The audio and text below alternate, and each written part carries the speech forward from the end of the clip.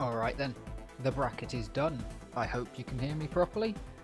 Let me know if anything's too loud, too quiet. I will turn it up, turn it down, spin it around, and try not to make too many chair noises this week. But these should be your final brackets. And by those things, we have a perfect amount of players. Well, almost perfect. We might be going into a different place. Uh, Dodger has a default win.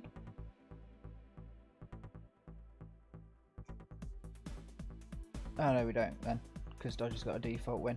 But I guess he's got to put the default win so that Group A is up. So,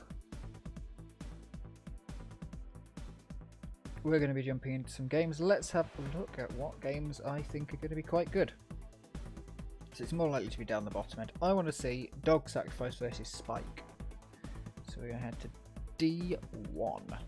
Actually, I want to see Wolf Snipe versus Morrow because that'll be a very close game.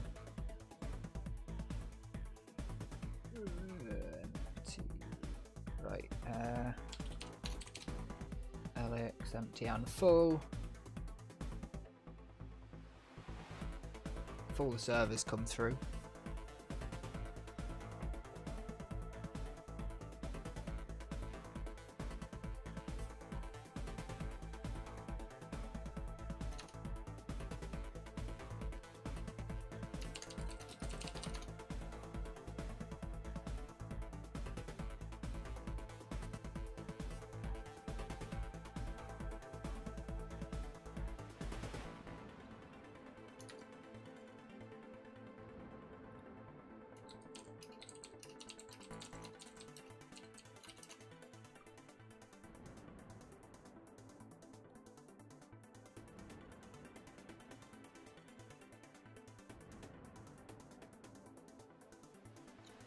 Servers are apparently up.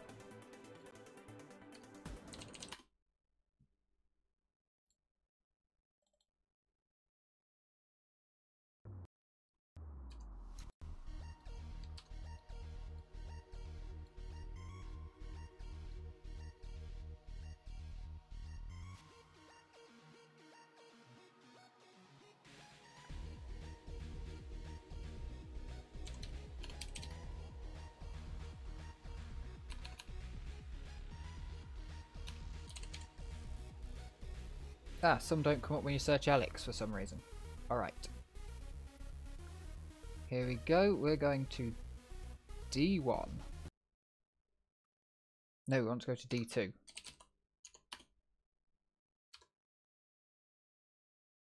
We're going to D2.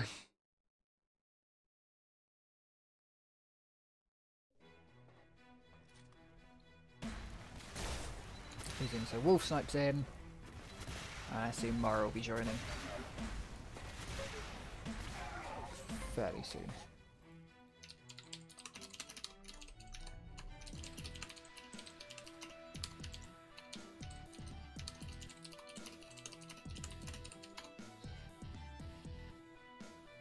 So what you can see currently on either side, we have the bracket over here. And over the other side, we have the uh, IRC chat. So it's not Twitch chat, it's the IRC chat for the cup.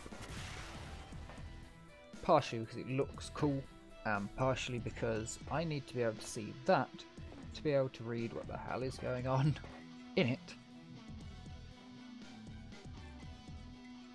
Mario Bianchi.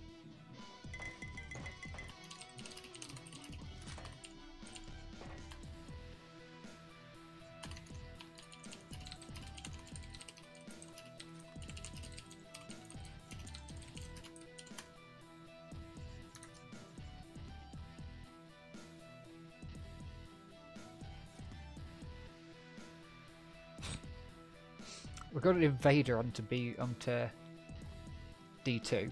This looks like the best game. So the current Dodger has a default win. Hot Dog versus Foxy Duke is the second in the A group. Group B, Mirio versus Splosy and Siki versus Pendula. Group C, Gats versus Mr. Detonate Detonia and Ramses versus BW. That'll also be a good game. Spike versus Dog Sacrifice is our first one in Group D, and then we have what we're going to be watching, which is Wolfsnipe versus Morosophos. Then Group E, we start off with Tommy versus Johnny B, and then Rainbow Shadow versus Unos, who's a, that's going to be a good game as well. Collapses versus Drainer and Packer versus STDI are your Group F games.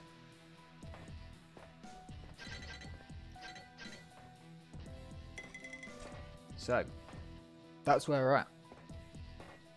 We're moving through. Four will become two. The loser bracket just determines position. You don't particularly have to actually play it. And then we'll move on to the final stage. In fact, you don't play it.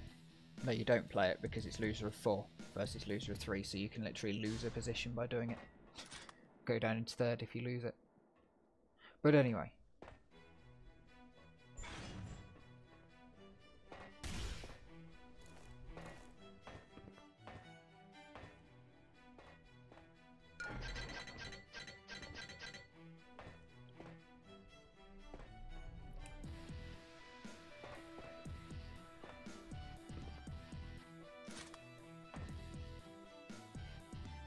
May have to change the uh, change the game we're watching actually.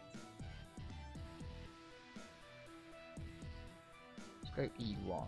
Ah, Mara's in. That's fine. We'll be getting going here in just a minute. Let's check my binds work.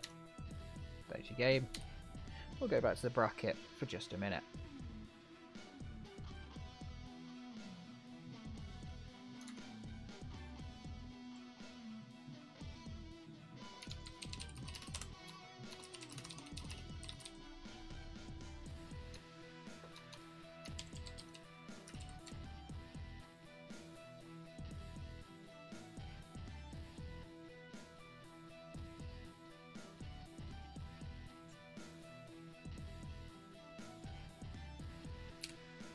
Get binds on.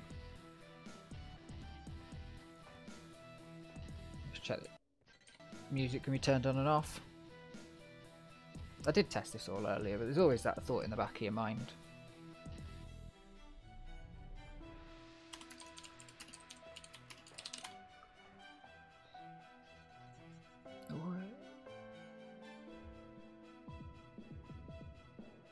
Okay. Wolfsnipe going to be dropping Graphite. So we currently have... Ah, only dropping Graphite, that's it. Wolfsnipe won the coin toss and couldn't work out to do the bot. That is fine.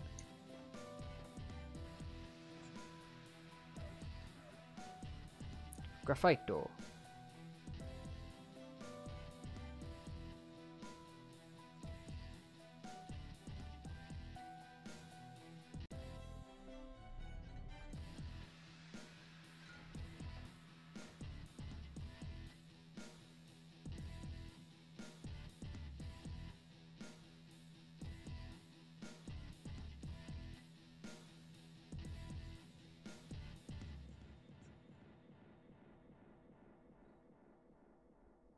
Nice thing with this system is you don't have to type out the full name of the map, you just have to type out a unique starting thing. So for hub, which is hub 3 aero q3a underscore next underscore r4, you can just type in hub or h, because none other of the maps in this pool start with a h. But it also means that to pick or drop fuse, you could just use F.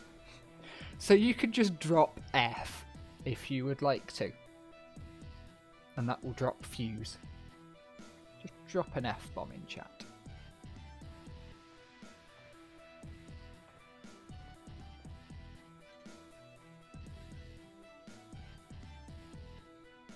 So we should be getting ready to start in just a minute. Starting rounds very soon. Let's head over to the game.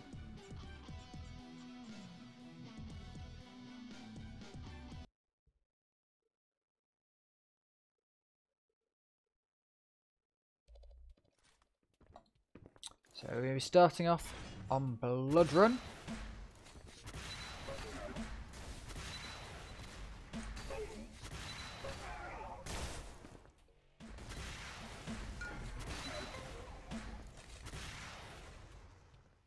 Prepare for battle. And we're going to get ready to go. Here we are for the first game Five, of the tournament. Four, three, we have Wolf Snipe versus Morosophos. I'm going to need to stop doing such ridiculous intros because otherwise I'm just going to wear myself out before we've even started. Wolf Snipe going straight for the armor and the mega health. Not even picking up any weapons and Wolf uh, Morrow going to be taking him straight down with that ballsy play there. Now, very nice shot from Morrow. These guys should be very evenly matched. This is going to be a close game, I should have thought. And there's the kill from Wolf Snipe.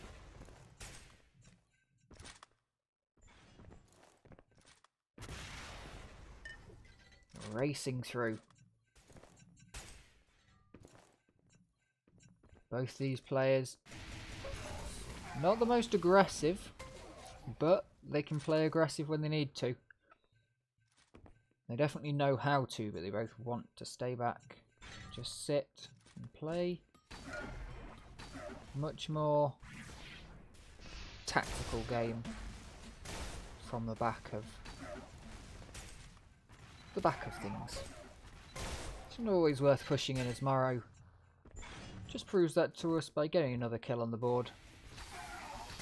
Playing a little bit back behind the ball.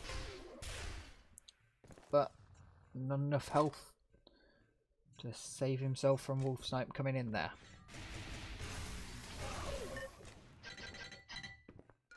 Wolf going to be going around the map looking for a bit more health. Some way back into these armours because right now Morrow really has the armours.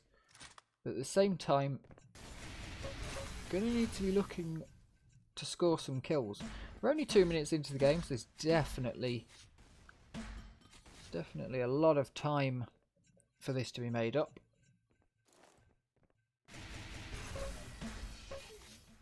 But, see where it's headed. Nice little bit of spamming out from Wolf Snipe.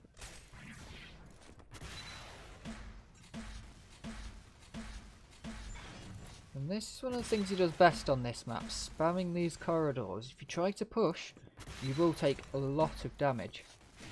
And especially when Wolf Snipe has control of the armors and the megas, it's going to be difficult to find the ammo, uh, oh sorry, the armor to push through a barrage of grenades.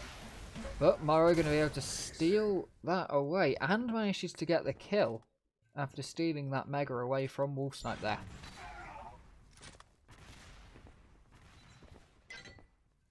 The shots of him coming out from both these two great players.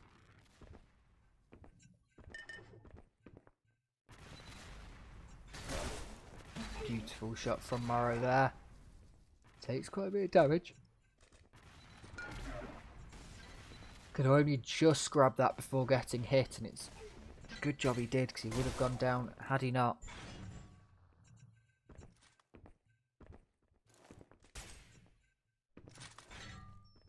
Takes a bit of self damage just to be able to grab that armour. It's a good thing to do, it denies your opponent and on a map like this with the two armours, you can really, if you get those two secondary armours, you can really pick up the same as that mega armour. And if you've got that, you can contend for the mega armour and use that to overstack. So it's worth it if you're not going to lose too much armour to just self-damage yourself that little bit to be able to take it. Morrow goes in to do the self-damage, but has to back out. Because Wolf Snipe's there, knowing he's going to do it. Not the best wall shot to speed you up. But Morrow's still going. We want to drop back here. Pick up that 50 and now he's going to go in Wolf Snipe. Only just missing out on that actually. Going off to the heavens. Probably thought it had already been taken.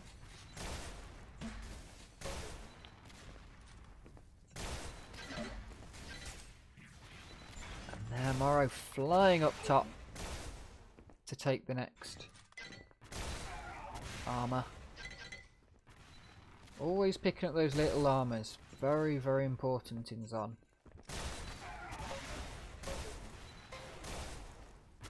Very close fight there. Wolf Snipe just landing every shot necessary. Morrow putting out a good amount of damage. But with Wolf Snipe just hitting every shot.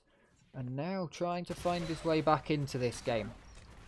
Has the stack and has the position.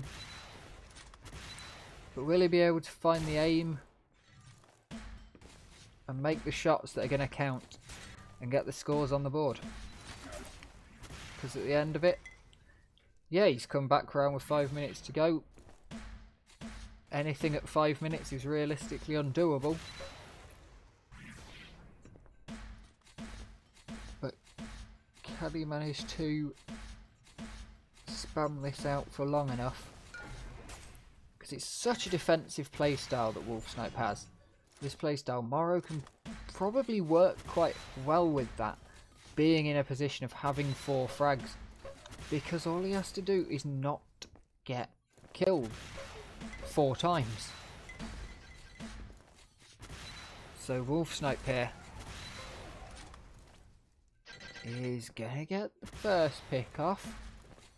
Now he's to try and make it a second and there it is. He's to head down Able to make a shot, which is going to tell him where Morrow is. It's always worth spamming up there. You never know when someone's going to spawn. And now we have a real game on our hands. Wolf Snipe taking complete control of the map right now. And Morrow just having to put up with dying repeatedly as Wolf Snipe ties it up. Six and a half minutes in. Morrow going to do a lot of damage there. It's going to be good. But he's going to vote for an end match, which is interesting. We're going to be heading over to Tuma. But it's interesting to see an end match come out quite so early.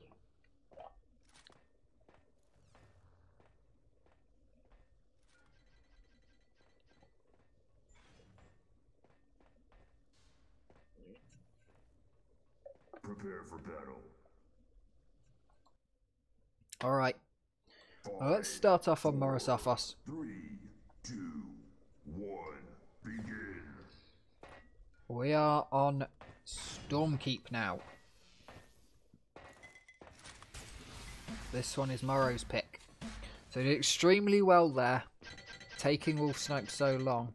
An interesting calling it quits while Wolf Snipe just had the timing.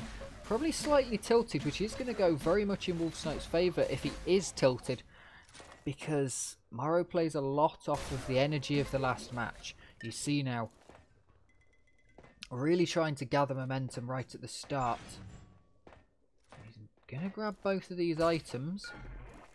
That's going to put him in a very strong position to start off this game. Two frags and the item control with Wolf Snipe getting absolutely nowhere near.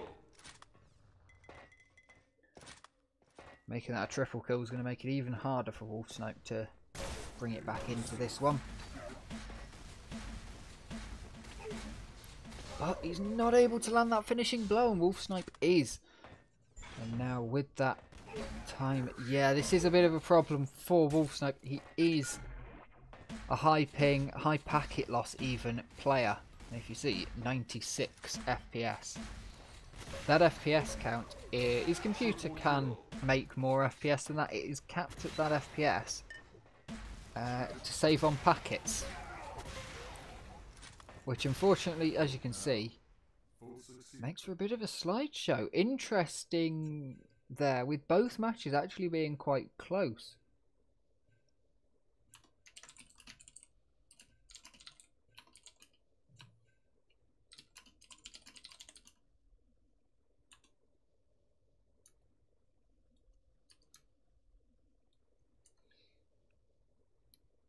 Alright then. Let's see what other games we can get to cast. So, what did I, th I think Group E1 will be a good game. So we have Tommy versus Johnny B. This should be the second game. Tommy highly ahead here. Look at that next percent. A huge next of 47% Tommy has. And he's just going to start taking names on this map. We're three and a bit minutes into this game. 12 to 1 the scoreline. It's not the closest game you're going to see right now.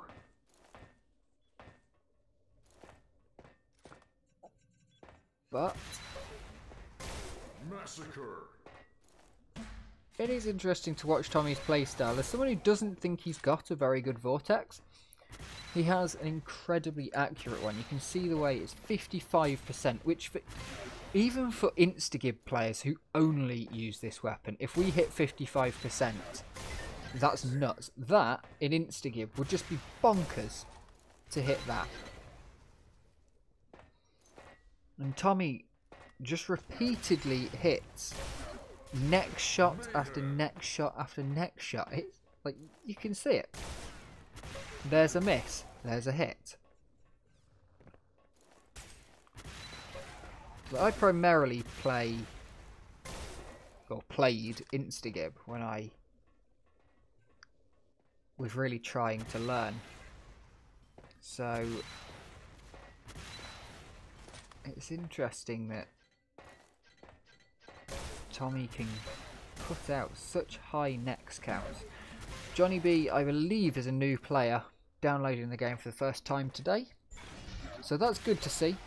Good to see new players coming into the duel scene. Unfortunately, they're getting completely wrecked, but that's going to happen. Hopefully they stick around, learn something new, and come back next time. I think actually we are going to try over to Rainbow Shadow versus Onos which is on number E2, which is here. Also going to Stormkeep. So there's a lot of Stormkeep going on here.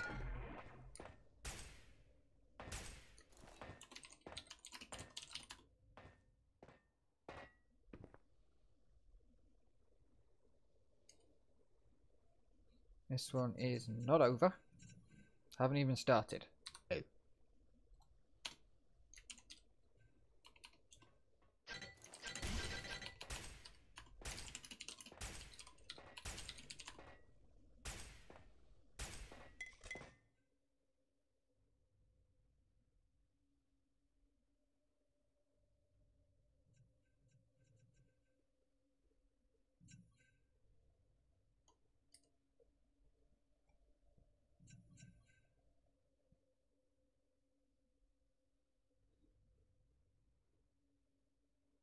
Succeeded.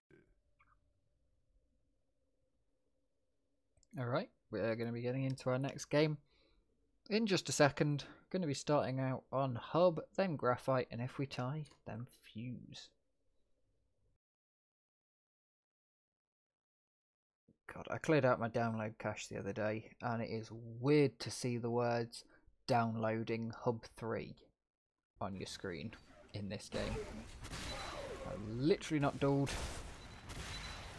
since re reinstalling the entire computer actually.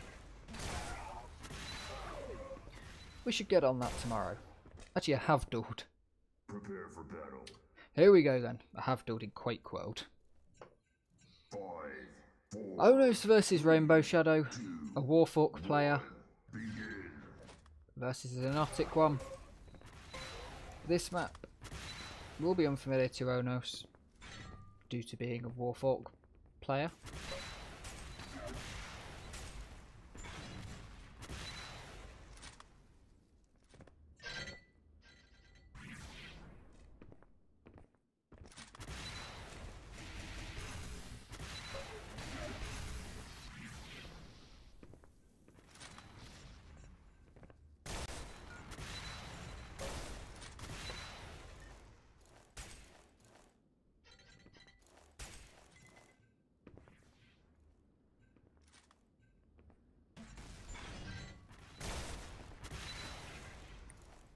just darting around the map trying to find a way in. But finding a hell of a lot of necks from Rainbow Shadow, who's managing to pick up all the items, managing to take a good control over this map right now.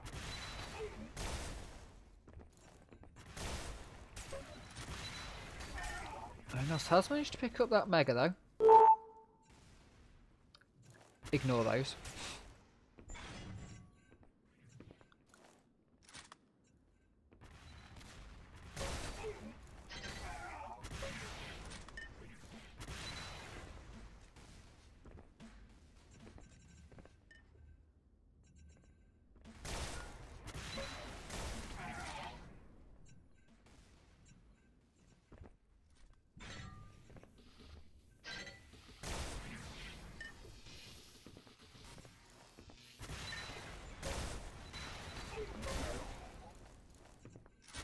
Rainbow Shadow picks up a second kill.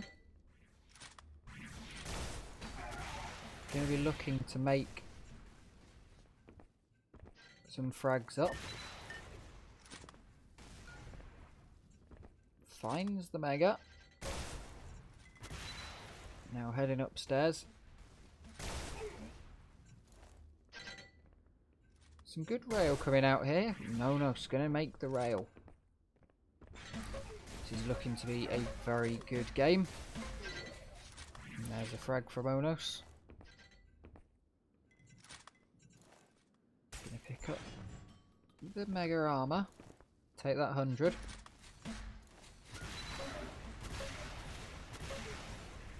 And then... Big frags.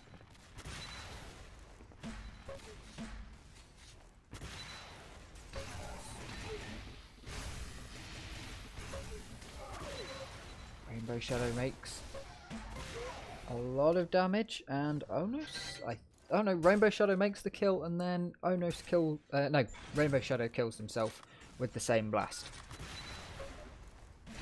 Now, if Rainbow Shadow kills himself again, it's not going too well with the whole self-damage and self-killing thing right now for Rainbow a good amount of damage coming out here, and there's the rocket they wanted. Now they've got the next to be able to do some long range, high damage. Onos going to be finding that very low though. Onos going to be running away, getting out of there. There's the next Onos with, I think, managed to pick up the Mega there. Surely picked up the Mega, yes, at the same time picked up the Mega health as the 100 armor was taken.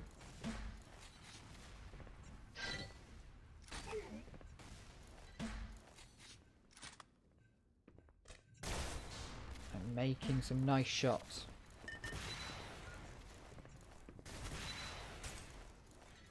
The item's now split by a little bit. It would be possible to actually get around just about to the second item. You're at least going to be able to now catch your opponent off guard if you take that Mega first and then head over to the 100. Rainbow Shadow just waiting here. Seeing if they can catch Onos off guard, but not able to. Onos coming through, doing a lot of damage and managing to get that kill. Now the Mega is up, and the armor should be coming up in just a second. The armor's there, but Onos probably got this in the right direction actually.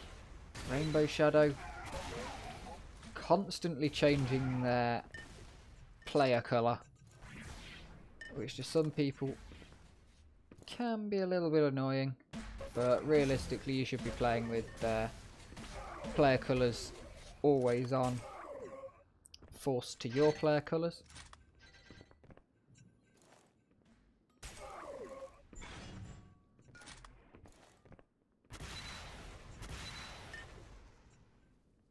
But it is nice to see the ever-changing player colour on the on the gun weapon model as it cycles through. Quite pleasantly. Rainbow Shadow Gang spawn fragged. Oh no, coming from Warfork and already picking up the skill of spawn fragging people, which is pretty interesting actually.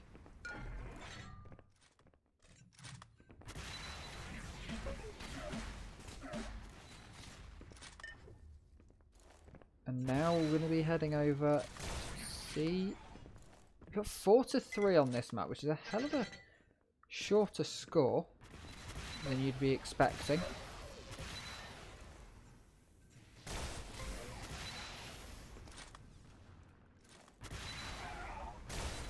But now it's tied up again and Onos picks it back up. He's getting quite a lot of these conversions. When it gets tied up, he's able to just pick it back. Will he be able to pull ahead though? Not right now. Gonna need a big push. There it is.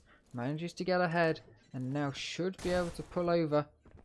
Pulling out the wrong weapon though, so not able to get that jump across quite as accurately.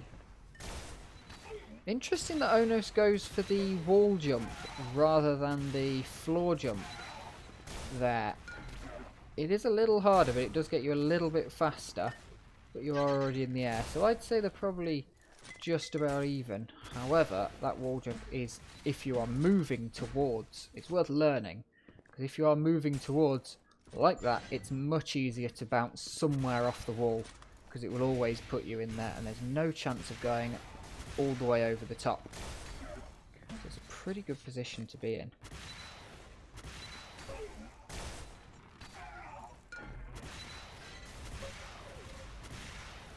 Oh no, stacking up on a bit more armour and a bit more health. The armour, of course, absorbing some of the damage that he takes. And the health just being health. If it drops to zero, you die.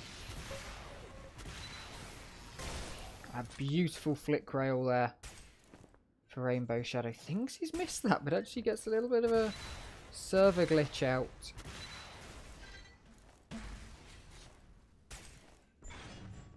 Now 8 to 4 your scoreline on Hub.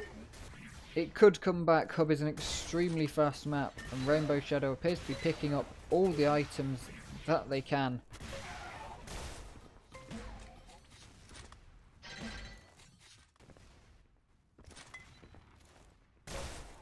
making some very nice shots.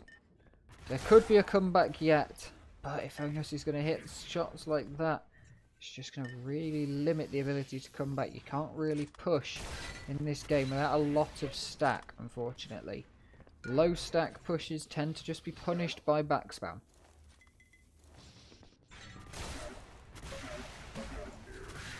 There's more and more damage coming out from Rainbow Shadow. Gets a very nice spawn prediction there onto Onos.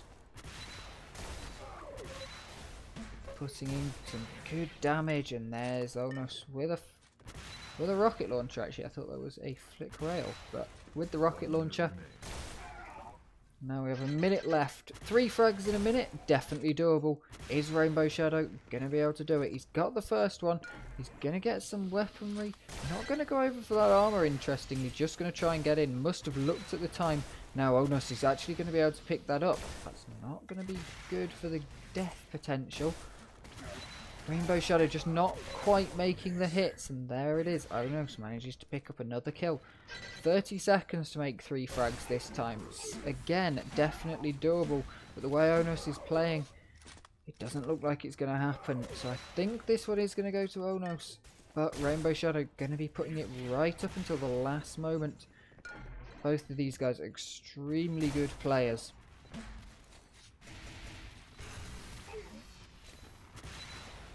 I was trying to play very fast and loose this game. Both players really playing quite fast and loose, but Onos much more loose and just free flowing. But 11 7 is going to be your ending scoreline. Onos takes the first map. And now we're heading over to a graphite.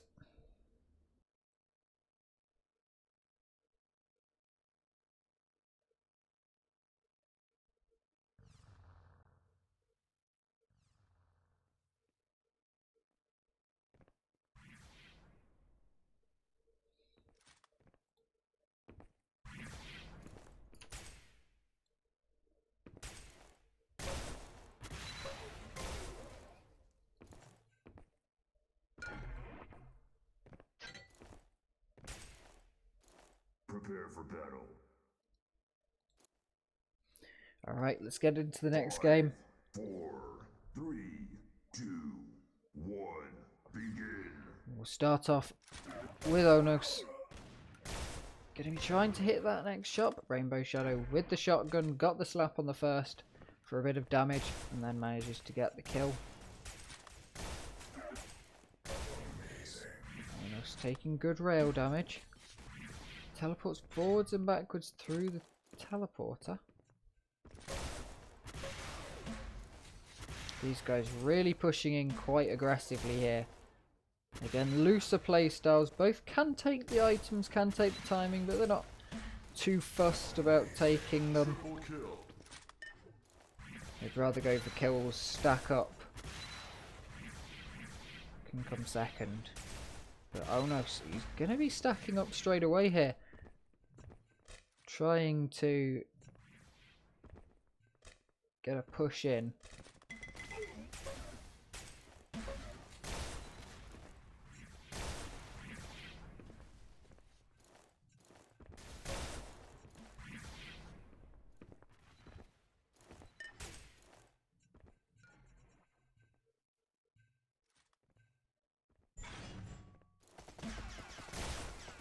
And now,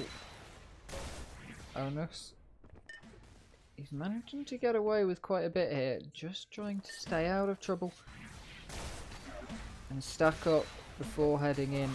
That fast and loose gameplay style from the last map, it's sort of worn off now, as he's not quite got the stack to be able to do it. Same with Rainbow Shadow, both of them. When they've got the stack, they really push in. With every weapon they can, it seems. Even getting one shot in there. I think that'll be a 100% accuracy. Yes, it is. With the machine gun.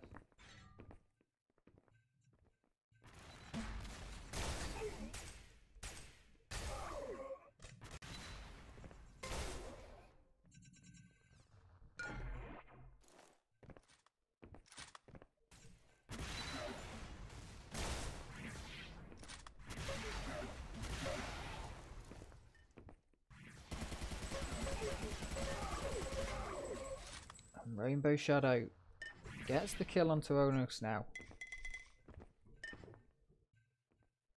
You got yeeted, Splosy. That's what happens to most people.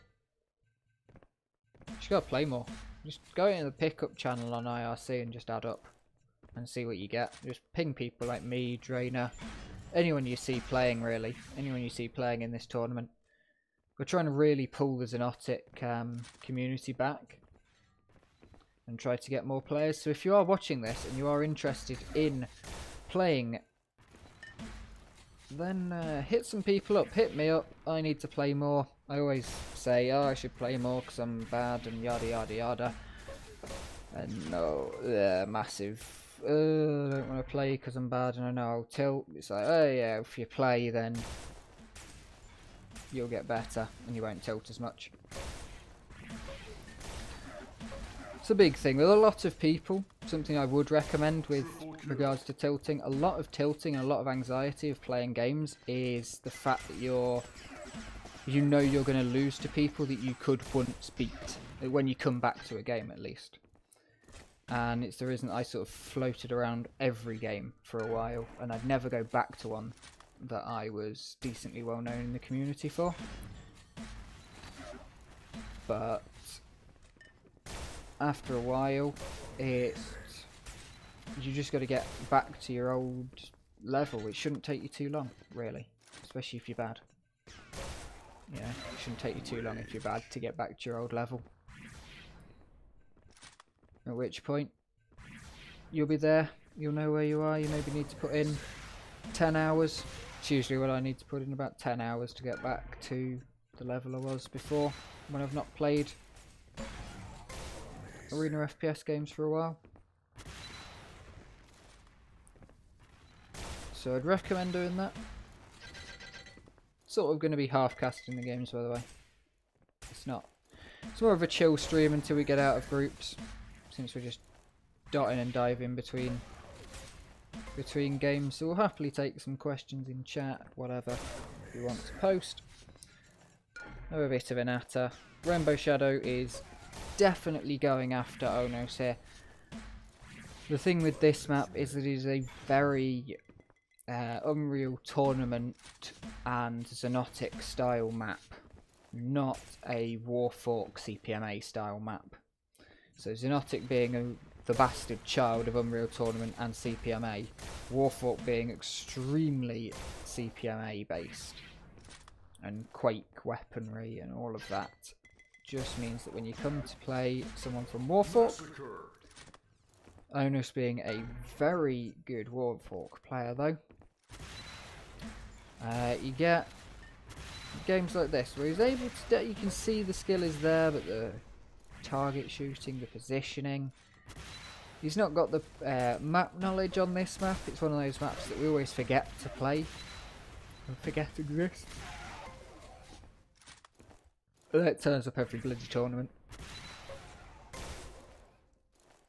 Wow, Rainbow Shadow managing to get the kill there. Flicking background. I'm going to be picking up these items. Almost going through very low, very low, but not going to quite go down. Maybe caught.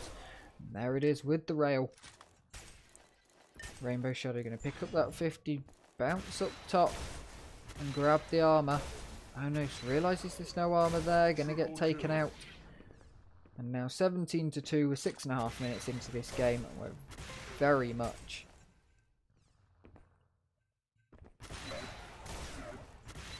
in position to be pushing ahead.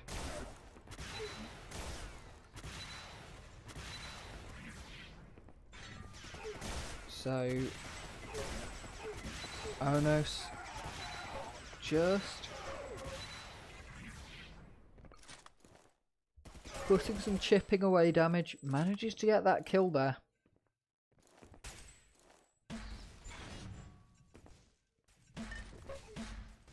And now, gonna try and get some kills back.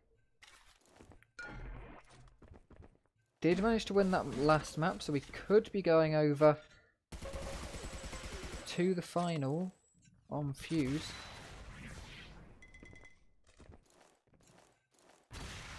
Onos actually goes for the massive damage with the rocket launch, which is very interesting. Um, forgetting the blaster will do yourself damage. Which is even more interesting when you realise that the gunblade in Warfork duels, Warsow duels, will do self-damage as well. It's very much like the blaster, but has a blade attached to it. And in some modes, becomes only a melee weapon with the blade.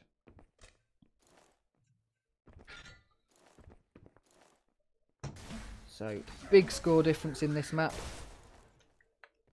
But that's the way it goes sometimes. These guys, very evenly matched though.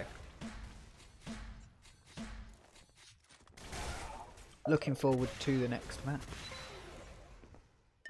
Yeah, the Gunblade's great. I love the extra movement that was added in all these. In all these, like people say, "Oh, it's a rip-off." They're like, "Yeah, Warfork is basically just CPMA standalone."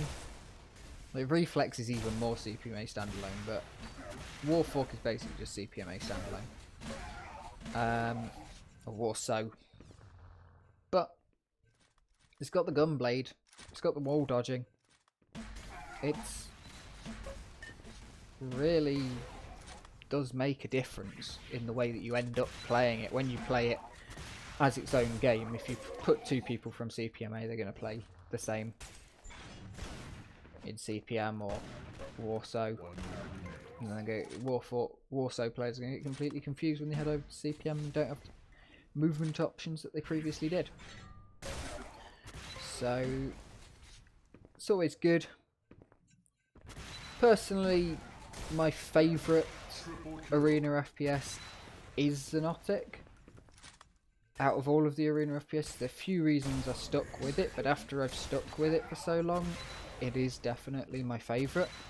It's not particularly my favourite duel game, but that's because I'm more of a looser player than Xonotic really allows.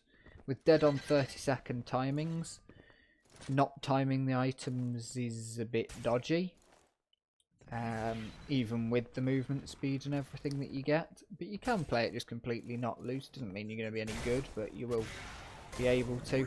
GG comes out, Rainbow Shadow gets a type frag. And there we go, GG. We are now going to Fuse. So these guys their call vote bot didn't work.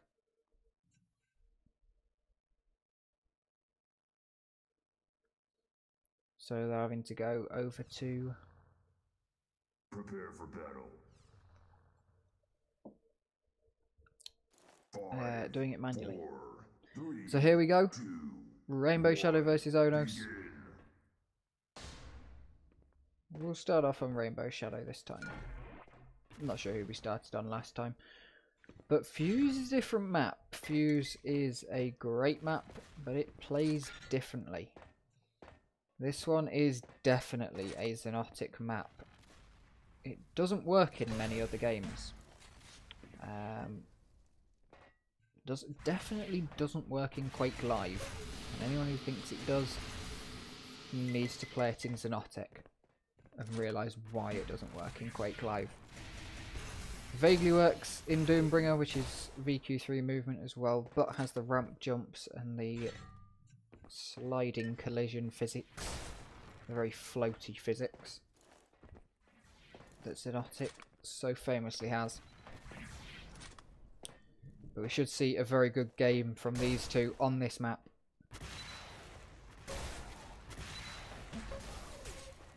Both of them doing a good amount of damage here. But Rainbow Shadow with the extra armour and health from the first set of pickups, he's going to be able to take the first kill. Might be able to grab the second here.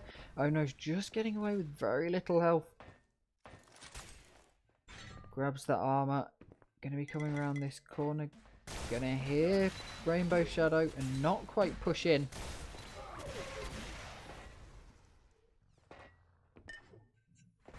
One to one though. Your scoreline.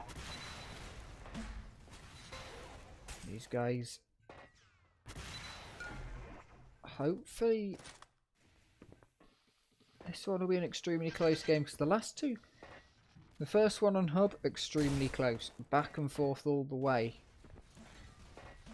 But you can tell that there's some things that these guys do better than others, and that they're very evenly matched in the way that they play. Last time on Graphite, it was map knowledge that did Onos in. Hub is the map of all equals. No one has better map knowledge than anyone else, particularly on Hub. But this map is looking like both players know it pretty well. Which is always nice. It's always good to see players being able to keep it even.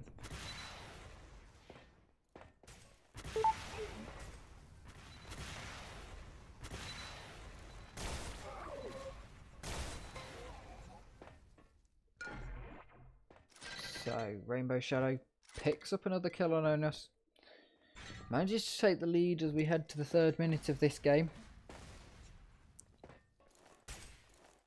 Now chasing down these frags. Knows that they've got the better stack, but has to chase down these frags to be able to make it count.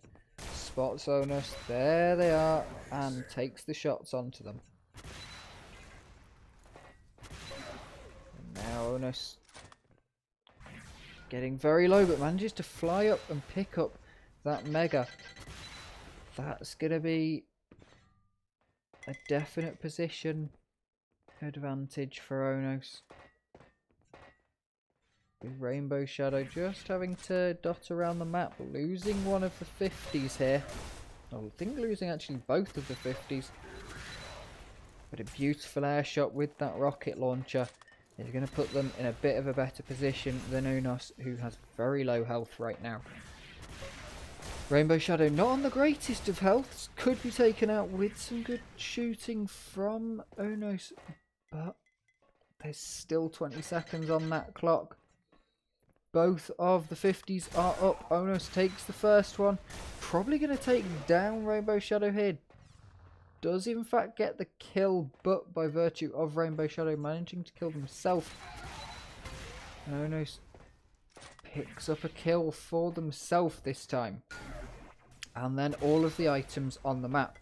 So Onos now, with control of all the items on the map, going to be making a move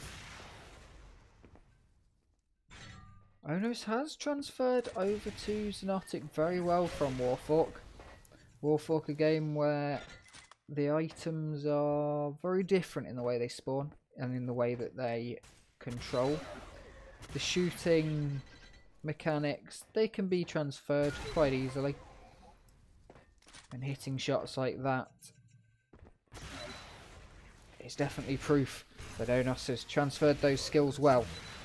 We head into five minutes remaining.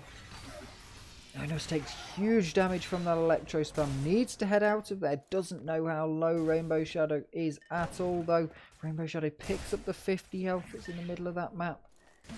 You don't want to pull back to there. Rainbow Shadow extremely low and goes down. Shouts die in the chat because Onos just will not. And these guys. Onos goes for the shot, makes it beautifully. Both of them trying to take the shots when they can without engaging as much. Trying to just take the pot shots across the map. They don't want to engage in head to head if they can avoid it. Onos there. Gets taken down.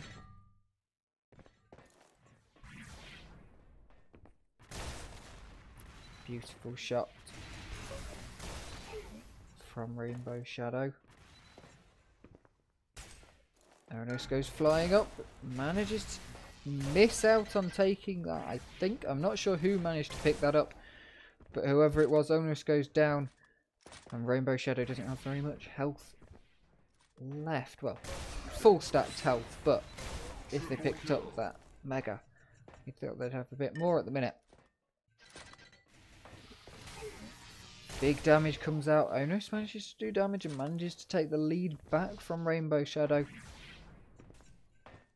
And now looking for a bit more stat. Goes running in there, has to panic and disappear. Flicking that mouse around. Beautiful shot. But Rainbow Shadow lands a direct rocket. Curved over from the right.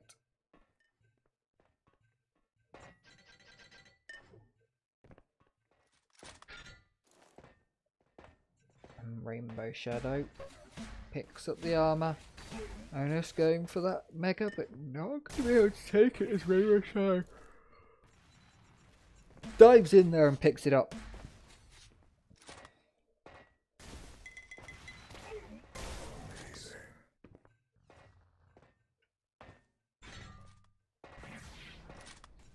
And now they're tied up and even with only just over two minutes left to go. Onos should be going down here and does go down. Rainbow to be aiming for some more damage. Makes the first. Triple kill. Now they should be able to just take this through. We're tied up for map, so whoever wins this map is taking this series. Oh it's very low on health. We're getting a bit lucky there. Going through certain places and managing to get out, but Rainbow Shadow looks like they are taking this one. Still enough time for Onos to bring it back, but it just depends how quickly they can actually get all of the items back, because right now they're sitting on very little stack and also very few weapons. Fast pull through there from Rainbow Shadow. Gonna just be watching this.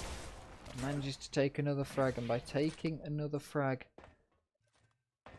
they're gonna be able to control this map a little bit better. You've got less than a minute left, only about 40 seconds. Onos is going to need a frag every 10 seconds from now to be able to take us into overtime. It's going to definitely be tight. huge damage coming out here. Should be able to take this kill, but no. Rainbow Shadow manages to get it with only five health points left. Gets the kill onto Onos. And now dropping down. Onos will pick up another kill. Looks like the final score is going to be 9 to 13. Oh, we're going to take 10 to 13. There we go. It's GG. Rainbow Shadow takes the series and Fuse with two very close maps and one eh, it wasn't too far out, but it wasn't the closest.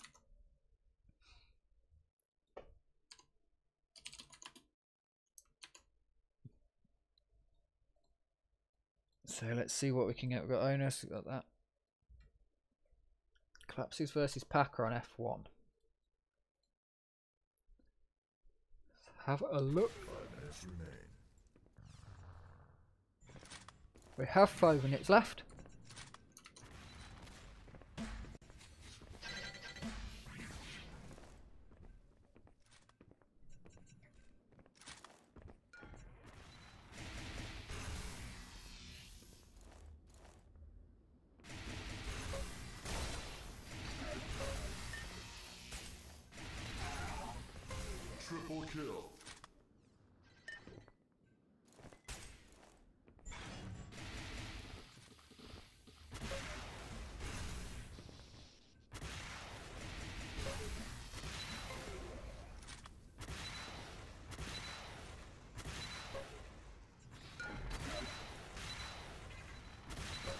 Packer 20 0 up on this map over collapses.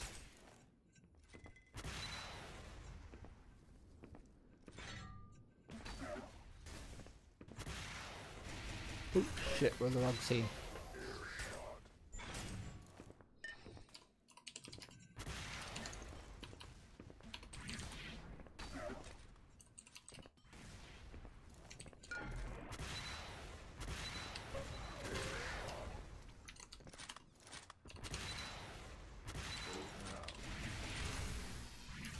Both succeeded.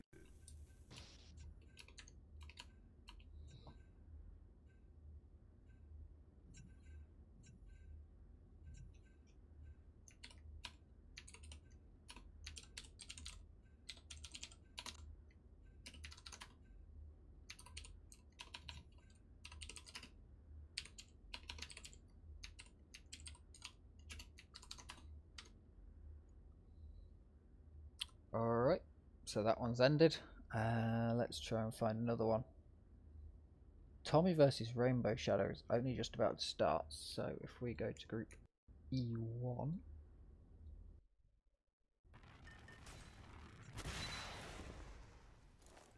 Tommy versus Rainbow Shadow will be about to start.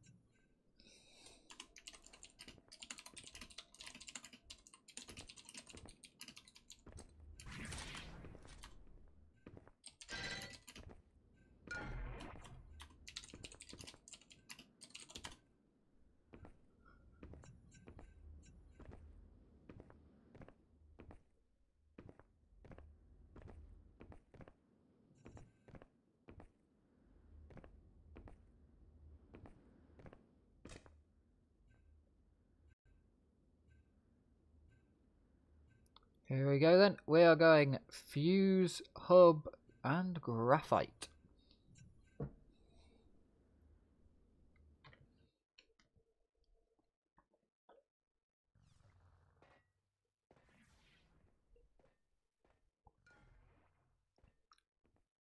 Prepare for battle. Five, four, three, two, one. Let's start out on Rainbow Shadow. Who seems to always start out by killing themselves.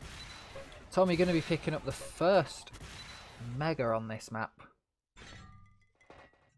Now we did quickly see Tommy earlier in the first game. We just finished watching Rainbow Shadow. Which is a gripping three-part series.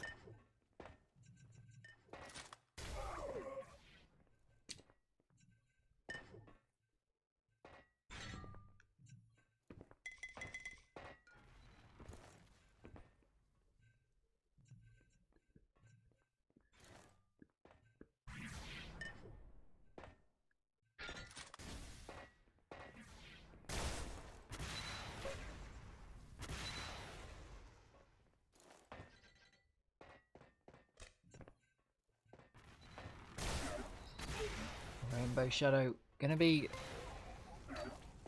taking good shots here.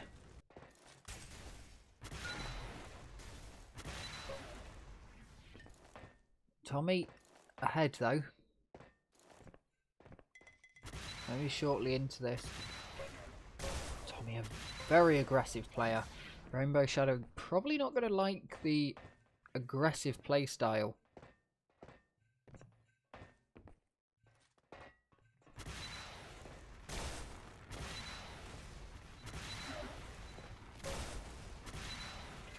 But going to be put up against it nonetheless. Tommy gets a nice kill. Unable to land any damage as Rainbow Shadow heads through that teleporter. But there's the item just spawned. Rainbow Shadow going to be able to pick it up, I think, just there. Off the back of Tommy's blast up from beneath.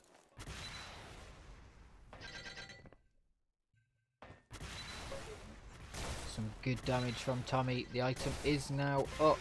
And Rainbow Shadow goes down. So Tommy should be able to get here before Rainbow Shadow does. And indeed manages to grab it. Rainbow Shadow. Tommy hitting himself with that rocket. Now both players trying to find something. Tommy wants armor. Rainbow Shadow wants weapons. And Tommy's going to fall into the lava. It's not a good position to be in. Does extremely fast damage. And can be a little tricky to get out of. But Tommy seems to remain calm. Despite getting stuck in the lava. And despite losing that mega.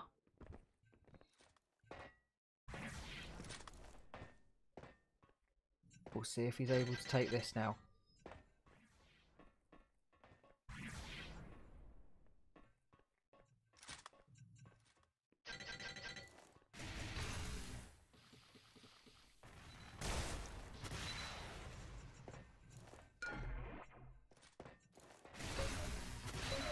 Shadow doing big damage over to Tommy. Hitting very nice rockets. Just missing a few shots there. And Tommy now. He's looking for his position. Looking to try and get out of here. Does not want to be stuck where he is. Absolutely no health there. 4 to 2 your scoreline up to the 4 minute mark.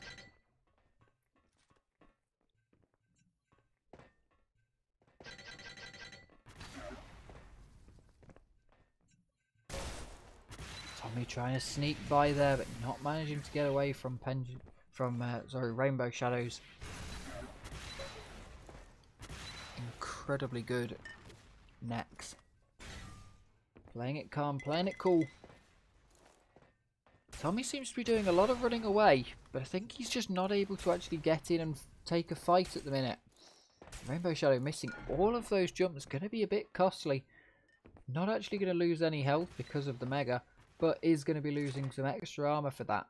In some fights, that little bit of armor could be the difference between losing and winning. Especially on this map, where you've only got the 250s. Just checking Tommy was out of sight. doesn't want Tommy to be able to just easily grab the timing on all of these items and be able to bring it back in that way. Gotta keep that timing under lock and key for as long as possible in these games.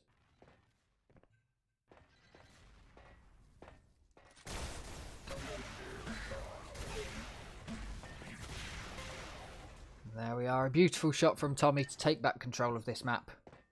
It's a good map for him. And he seems to be playing well today. We could be seeing some very good things out of Tommy though today. He's an incredibly skilled player. Beautiful shot there.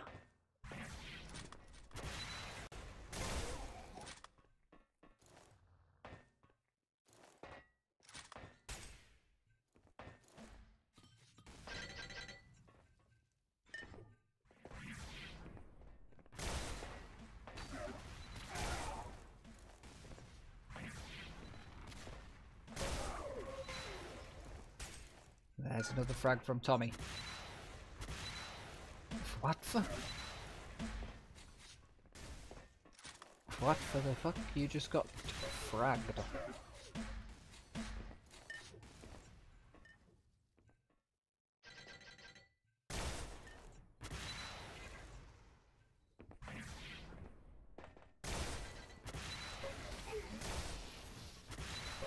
Tommy should be able to finish this one off. Manages to get it. Now we're going to be wants to pick up that mega. It's just there. Grabs it and gets a nice little bit of damage.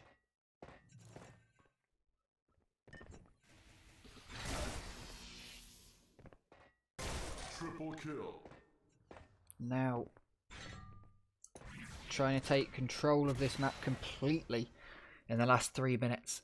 He's got control of the scoreboard right now, but not quite entirely control of the map.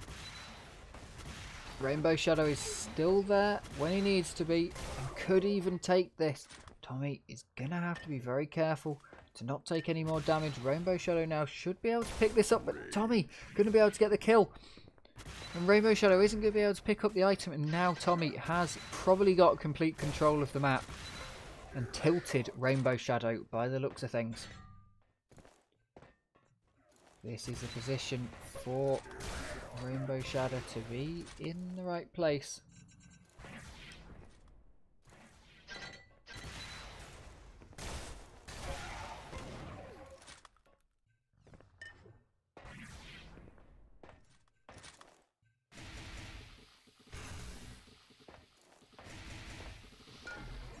Rainbow Shadow managed to get some uh, shotgun on there. Just had to look away at the chat for a second.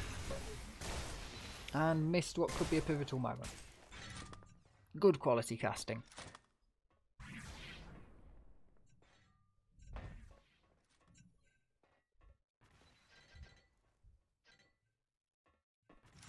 Rainbow Shadow waiting around for the mortar to spawn. Going to be taking a lot of damage there from Tommy. Is he going to be able to get out of it? Tommy comes through, doesn't manage to connect anything there. Now it's going to be who picks up that, that ammo. But the Mega goes to Rainbow Shadow, but instantly does quite a lot of damage to themselves.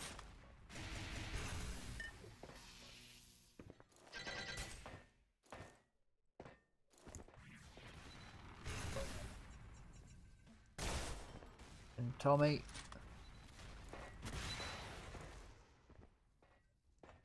One minute remains. It's a minute left. Tommy's got to put in just a little bit of effort to keep the frags off. Rainbow Shadow probably conceding this one at this point. Ready to take on the next challenge. The next map. Can't remember where we're going next, but we'll let the bot sort that out.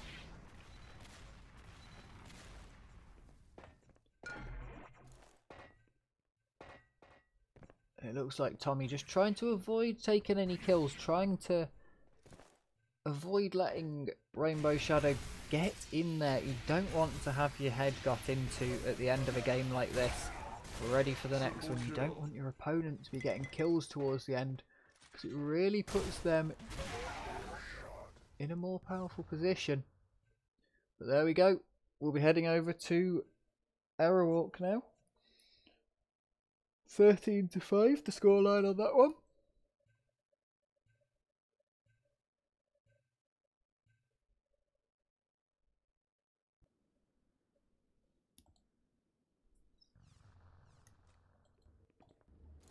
We'll start off on Tommy though.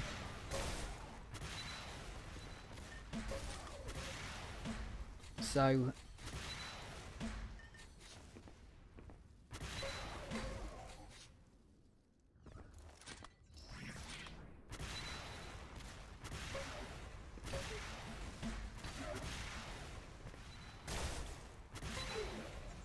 Prepare for battle. Here we go. Tommy versus Rainbow Shadow. Tommy took the first map. We're now on to Hub. Rainbow Shadow gonna be getting that Mega after Tommy gets the spawn onto the red. Tommy confused comes out, doesn't see Rainbow Shadow and then gets taken a bit unawares.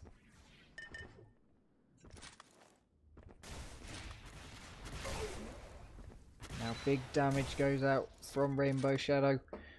We've seen them play on this map already today. They're definitely a good player and I think that this is their pick.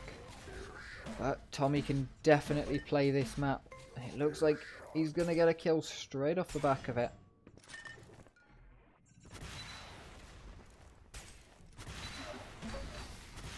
And now Rainbow Shadow is out looking.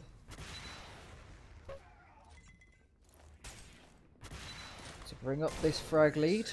And there's another one to bring up the frag lead. Not going to find Tommy over there.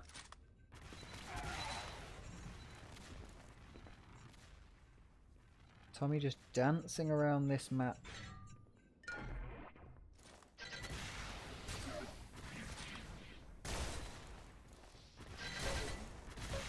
Great damage coming out though from both of these players.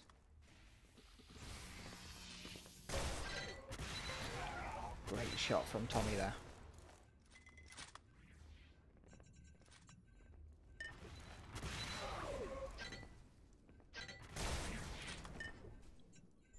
Rainbow Shadow 5 to 2 up. And in a good position, but Tommy's going to be able to get another kill. And if you can get the spawn frag on this one, there it is. If you get another spawn frag, then it's not going to be looking very good at all for Rainbow Shadow. There's the next spawn frag. And the scores are tied.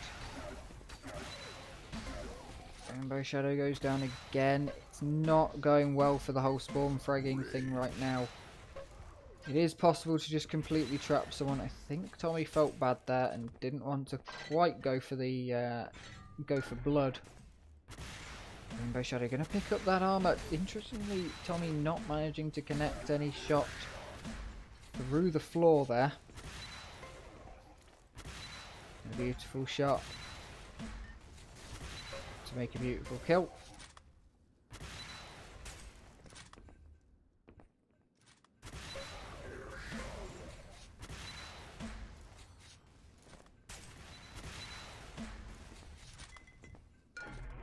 Now Tommy gonna be pitching his way around this map. 10 to 5 is now your scoreline. He's brought it back and he's pulled himself just that little bit ahead.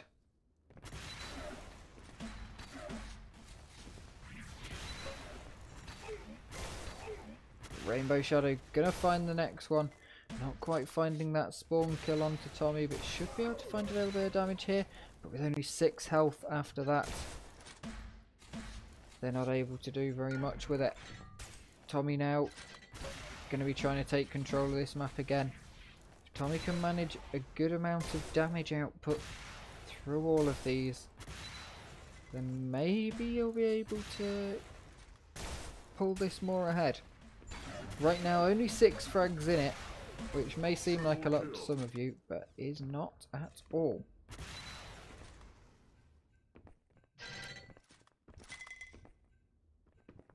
Tommy grabbing up all these items. Going to be extremely useful to him. Each one just that little bit more damage he can take. And that little bit more damage that he can deal with the extra time.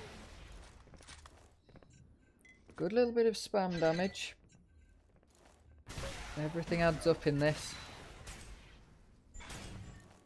And even if you don't get the kill out of it, you might force your opponent off of the next major item.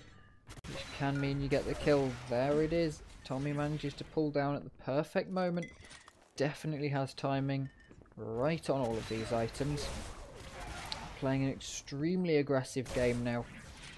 Playing right on the spawn frags where Rainbow Shadow is definitely trying to play slightly more defensively. Still quite fast and still a little bit loose. But not not as fast as Tommy at all. Tommy seems to be playing extremely tight game as well. It's extremely quick, but at the same time, timing all of the items to almost perfection. It's a very tightly played game.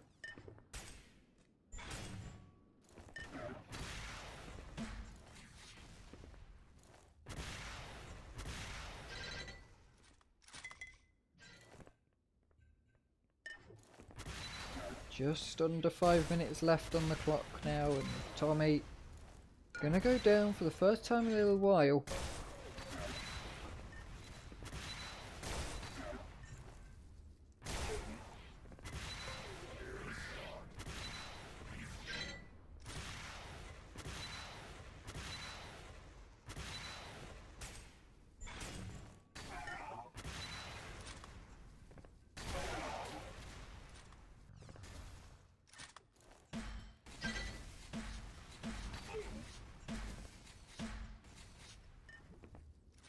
Now, Tommy.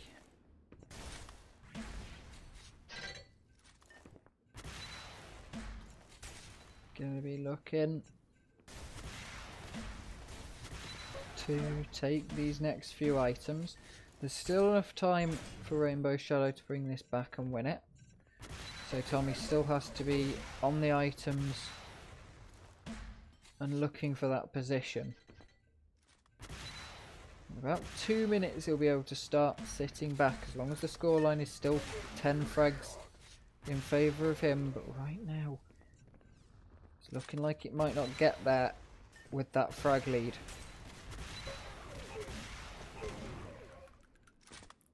Huge damage coming out from Rainbow Shadow.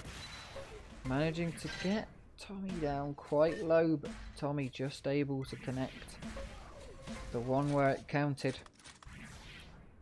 And now he moves around the map again. He's gained control back. Rainbow Shadow only managing to capitalise up one or two frags per uh, per set when he gains control. But Tommy managing to gain a few more. See what Rainbow Shadow can do with this bit of control though, because it is a very nice bit of control. It's not only control of the map and the weapons and the items, it's also control of the positions and control over where Tommy can go means control completely over the items, although Tommy is going to be able to steal a Mega away. Rainbow Shadow grabbing that armour. Tommy going off high. And now both of them engaging in mid. Sorry for the mics back. Both engaging now in mid.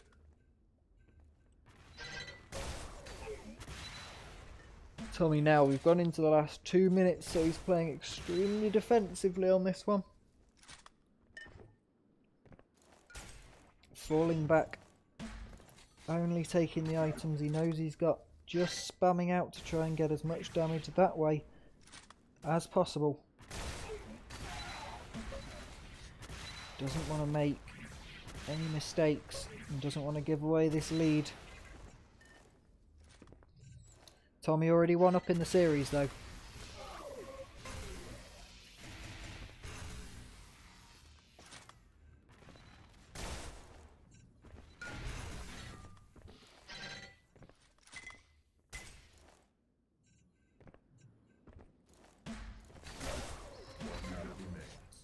Nice shot from Tommy. Oh, sorry, Rainbow Shadow.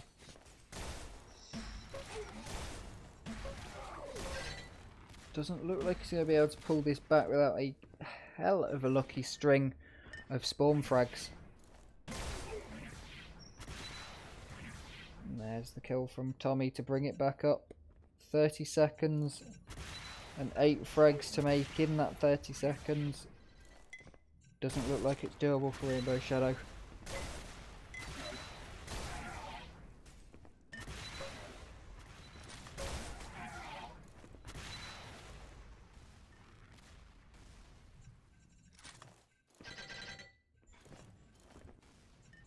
So this game looks like it's going to Tommy now. Two very close games on two very good maps.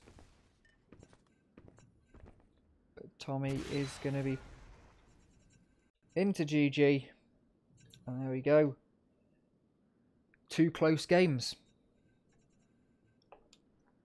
But Tommy pulls out ahead.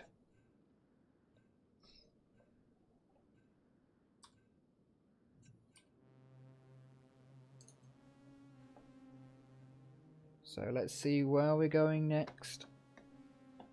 After that's all done, we're going to be going into the group stages.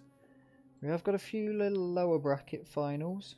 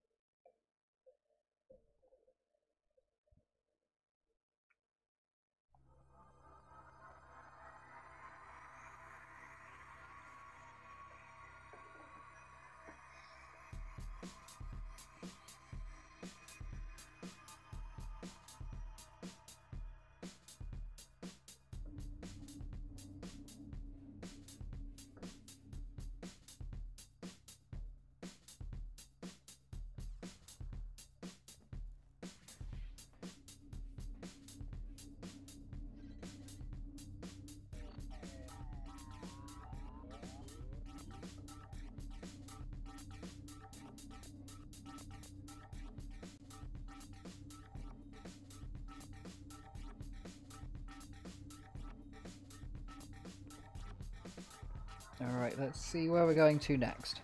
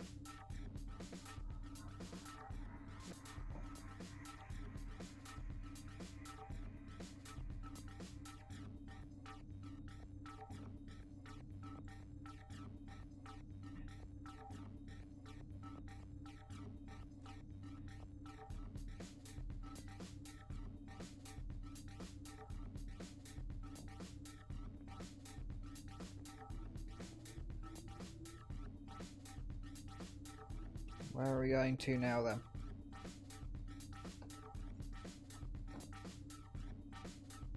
Let's open up the bracket and see what the final stage is going to say.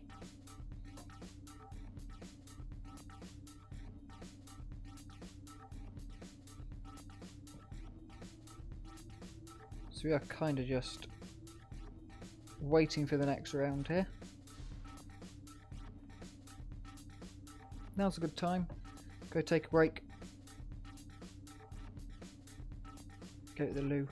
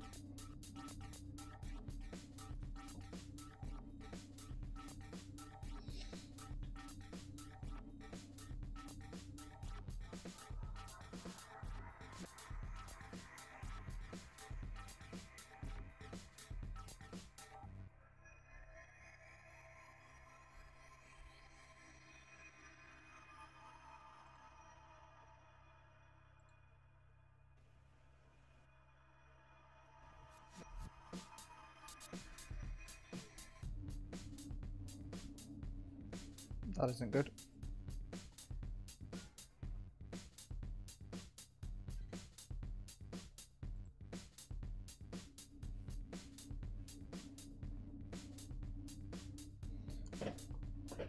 Yeah, yes, how about you don't, uh...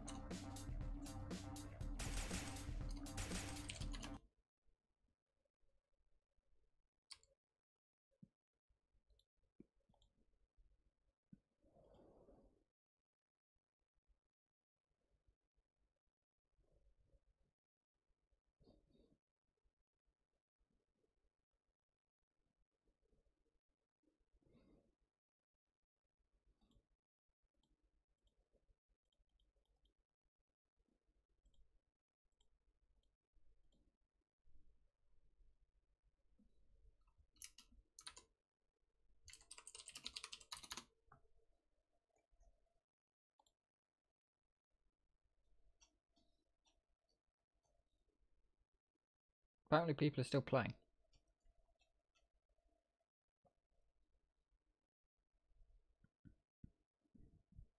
Oh, are we actually playing the loser bracket finals?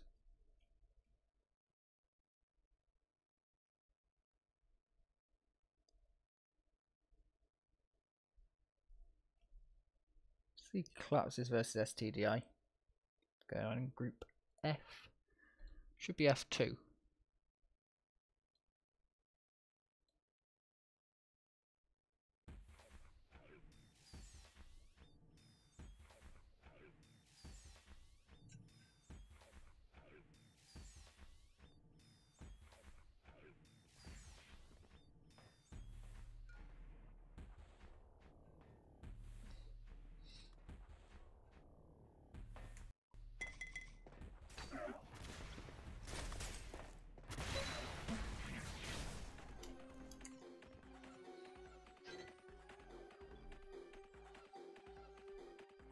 Look at Gats versus BW. That's in C2.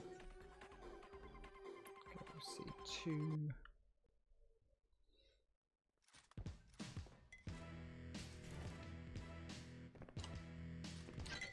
There we go. Looks like we are in the middle of a game here. Gats versus BW. Gats currently quite a bit ahead on Silent Siege.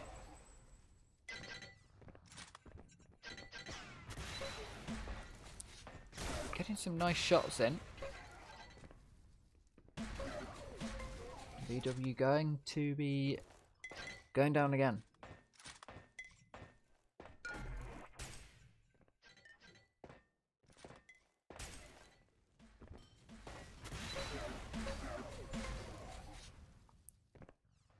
Gats even more frags on the board. 9 to 0 here. So Gats beat Mr. Titonia, a brand new player, 2 to nothing in the first game. Ramses beat BW 2 to nothing. BW beat Mr. Titonia 2 to nothing. Gats beat Ramses 2 to nothing. And now we have oh I know Ramses beat Gats 2 to nothing, sorry. And now we have I'm on the wrong scene. Fun dibbity dozy. Coming up to the five minute mark. BW in a bit of a sticky position here. As Gats just creeps around this map. Not going for the super fast bunny hops all the time, just going for the very clean and crispy plays. It's still definitely making use of all of the movement abilities that Xonotic has to offer. Both these guys are extremely time-based players, so I think that the fact that Gats has managed to bully BW off of the items, it's going to be tough for BW to come back into this, relying so heavily on controlling those items.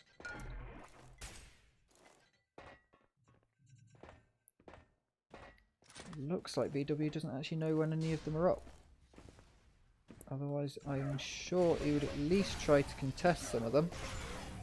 For a minute, just not manage to quite get in.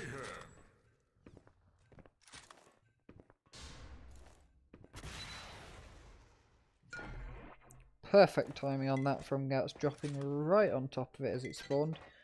Got a little bit of time to go before the armor's up. He's just going to dot around the map. And get there when he needs to. If he can get an extra kill, that's going to be just wonderful.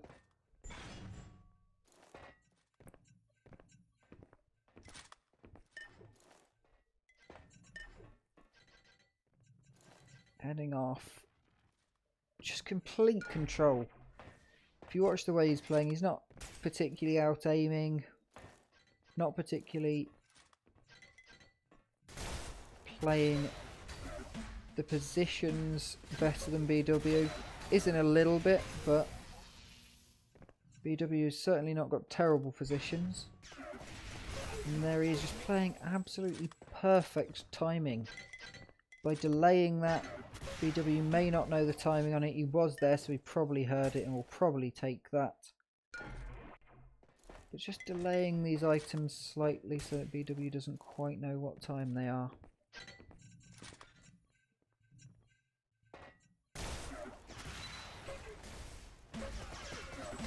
Berserker. And there's the Berserker. Which potentially means that Gats hasn't actually died. Yes, Gats hasn't actually died this game. Gats having an absolutely perfect game, which is good. good. Well, if Gats is playing that well, then we could have. Some uh, interesting games coming up later.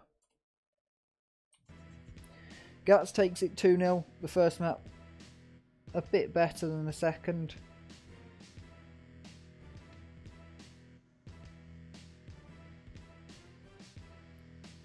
Yeah, Gats is extremely good and just took complete control over the entire map there.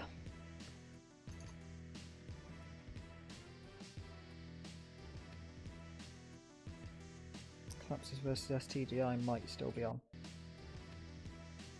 Over on F2. Yes, Collapses versus STDI.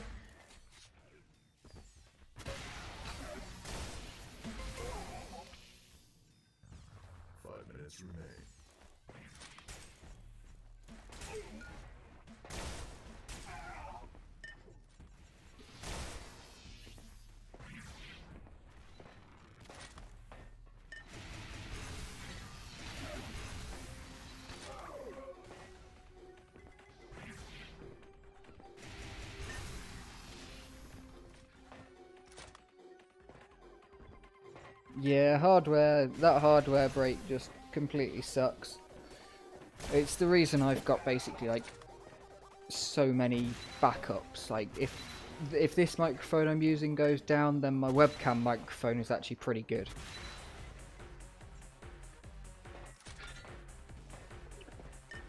I sound a bit further away because that it picks up more room noise, so I have to turn it down more to keep the room noise down but it still works. Shit, I'm on the wrong scene.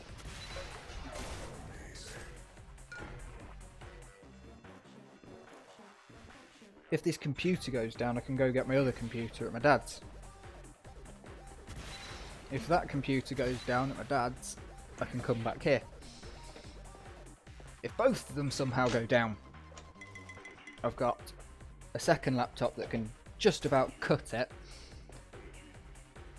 even if I have to uh, I have to stream on someone else has to stream and I have to just voice chat with them to be able to get it to work.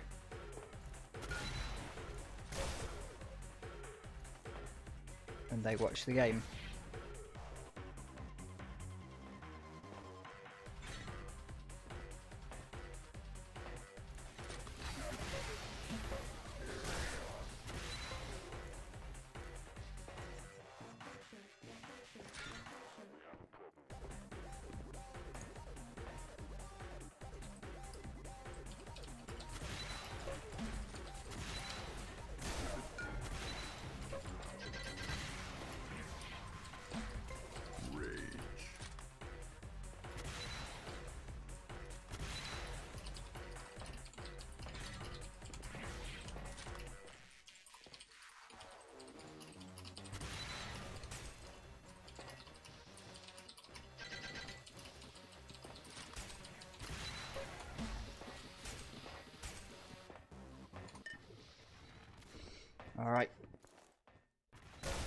Collapses looks to be taking this one.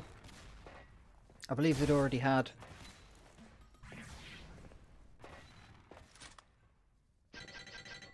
The score.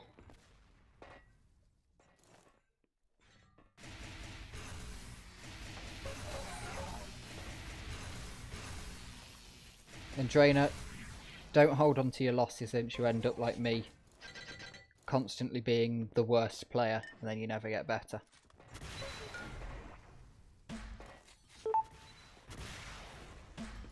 You did good. You had some hardware stuff. You'll play better next time. You're definitely getting better at the game, so there's that. And sometimes it just doesn't work out exactly on tournament day.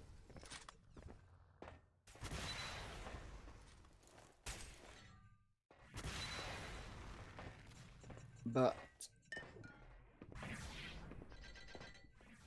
eventually.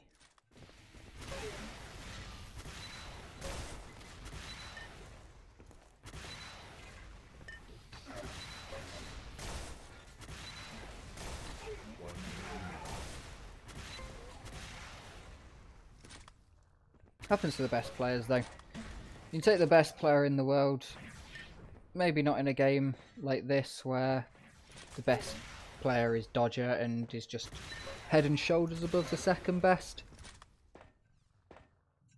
But if you take a game like Quake Champions or Counter Strike, sometimes it just doesn't come together on the day, even for someone or a team that's been consistently better.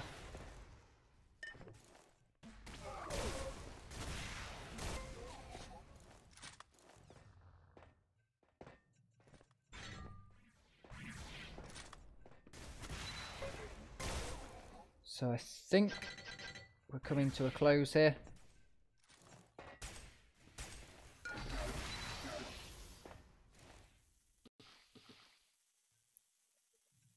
And we'll be going to Blood Run for a final map. We are 1-1 on these two.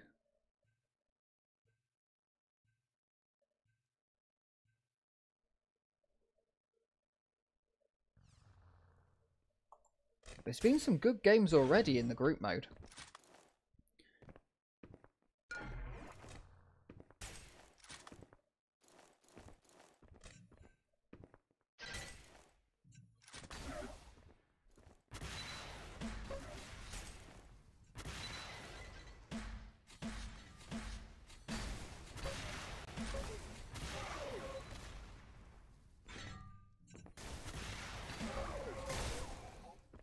Prepare for battle.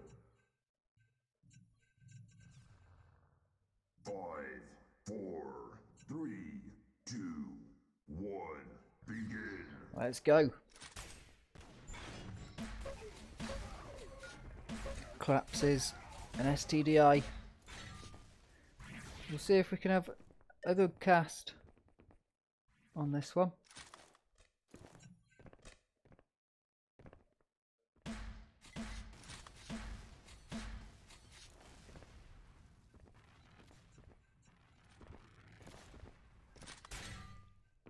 Collapse is starting off with a good position, gets a big amount of damage dealt, to him. Manages to take out STDI for the first frag of the game, gets first blood.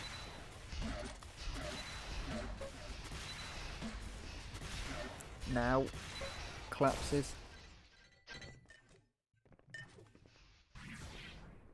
Getting good, good spam damage dealt.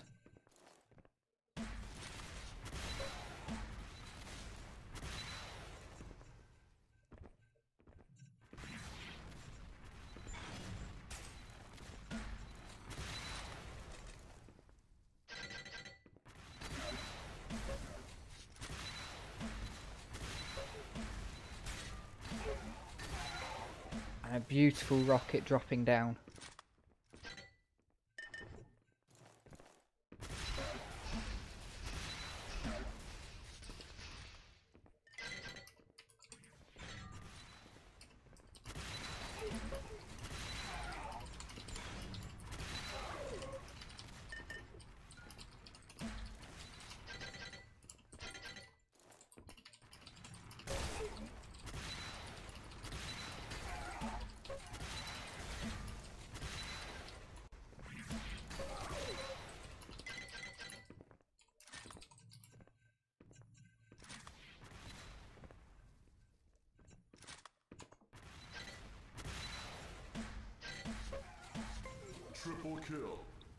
Triple there.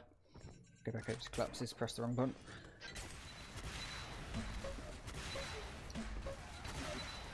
And a nice rocket round that corner.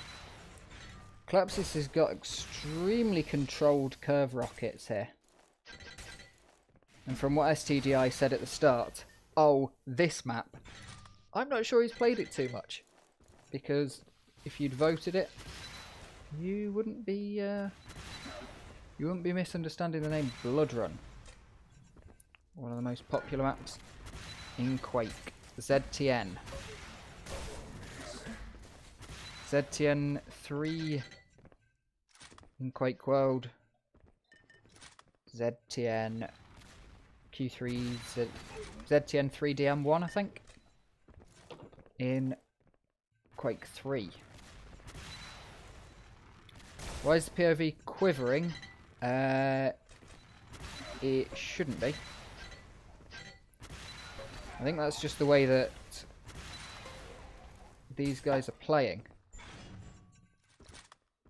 Right now, they're just kind of Uh, I suppose it's a little bit jumpy. Yeah. I'm not too sure. Um, yeah, I'm not too sure. It's not.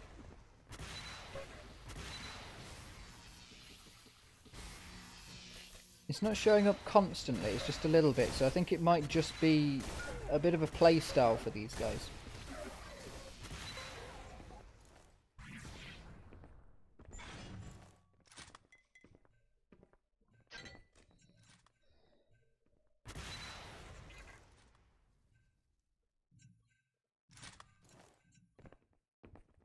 Now STDI looking for the items.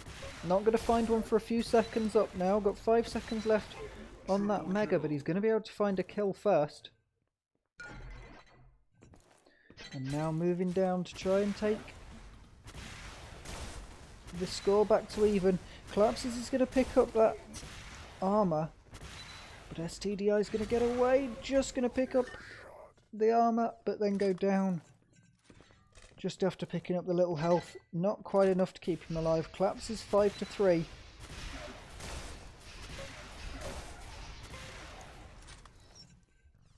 And pushing on ahead.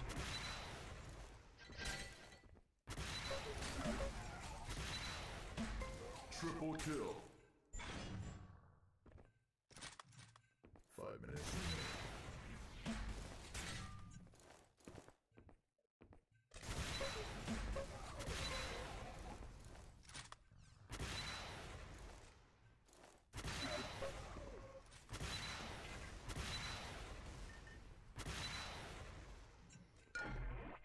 We see Collapses just pulling ahead. Quite a few frags in the last few seconds, and now going to make up another one. Making good plays. And trying to get it around the map.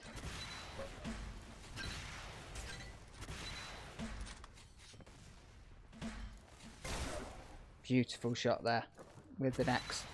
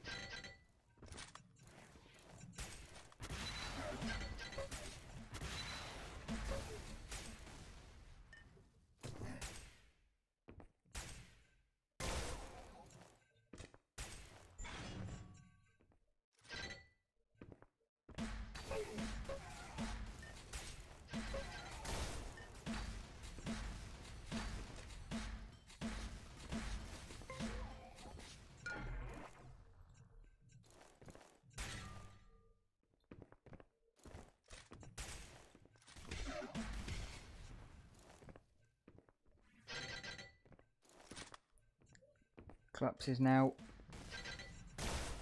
playing on the back foot with a little bit less health and armour, but managing to get some good spam out, and STDI is going to go down because of it.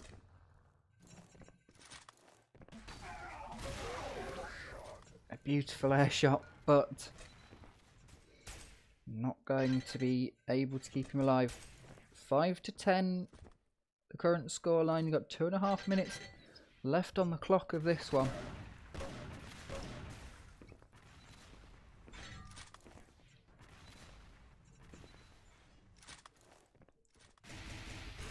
Collapses with these more spammy weapons like the Electro within the Crylink, unable to get the regular weapons that he'd probably like at this point. And STDI, before he's got the weapons, managing to take advantage of that and start getting some kills on.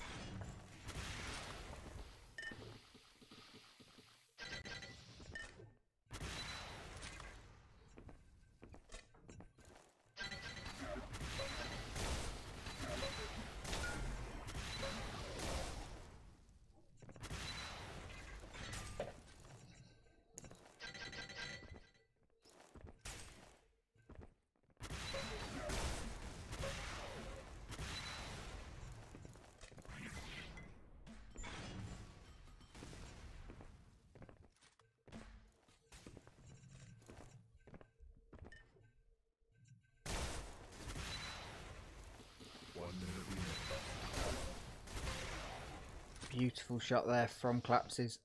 no, Sorry, from STDI onto Clapses. Is STDI going to be able to bring it back? He's only got two frags to make up. And just make that one with a self kill there. He's got one frag to make up. In the last few seconds of this game, Claps is running hectically away to try and maintain this one frag advantage. If STDI is able to make this play, he's waiting. Waiting for that item. Going to take a lot of damage here. Collapses. Managing to do a lot of damage. He's going to get the kill. He's going to get the item. And that's going to be GG. It went down so close. You could see STDI was under a lot of pressure in the end there. And definitely, uh, definitely well played by both of these. Extremely GG. Collapses is going to go through though. With the win.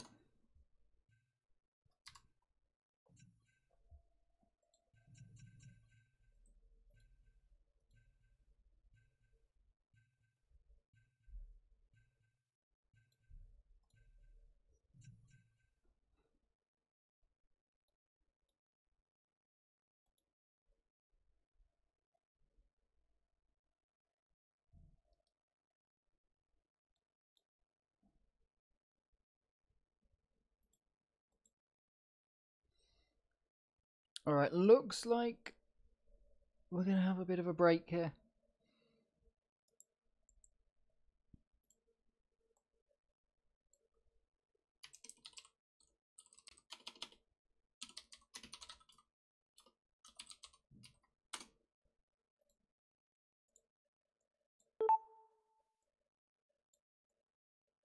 Uh, being told to go to E2 server for an overtime game. E2 join. Wow, we're into double overtime here with Onos versus Rainbow Shadow. We could have said this was going to be an extremely good game. But I probably wouldn't have said it would go to overtime, to be honest. The way that these guys were playing before, it was getting extremely close towards the end. But the, the back and forth, the frags were just being pulled out a little bit too far that you wouldn't have thought it was going to go quite that way. This is the second time these guys have met in this tournament.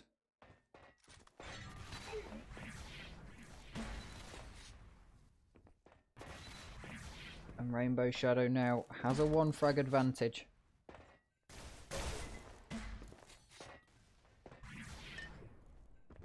Gonna need more than that though. That can all come tumbling down on a map like this with no mega armor. Just not gonna have the quite enough power to take it.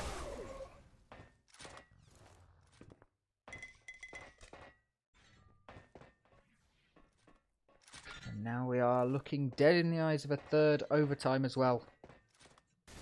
Let's see, can either of these two guys take a kill? Towards the end, it's very, very close. Oh, shit. Sorry. Fucking crap at that. Triple kill. Two frags ahead to Onos.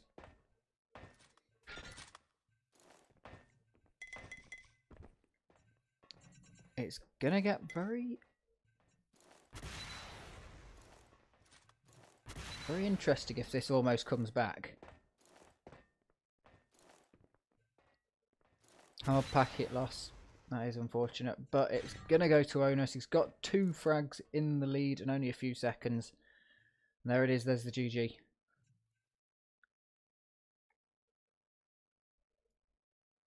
Rainbow Shadow has quit or disconnect ah disconnected.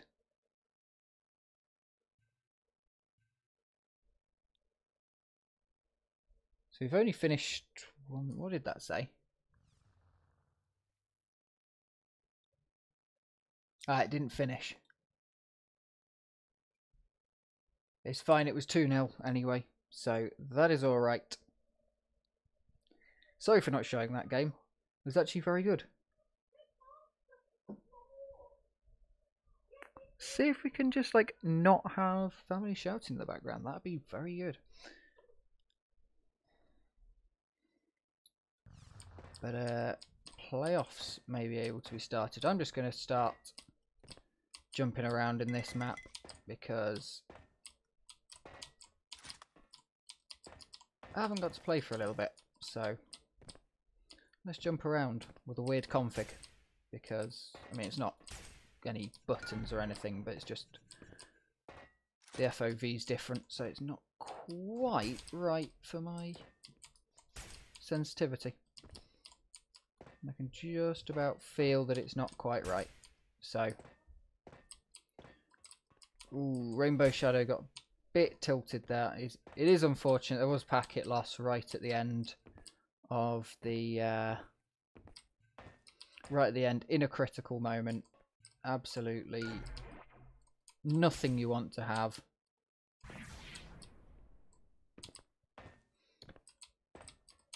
But sometimes it just happens. I'm doing good, Linus. I haven't seen you in absolutely ages. But I see you like joining Steam games and stuff. And uh, playing stuff.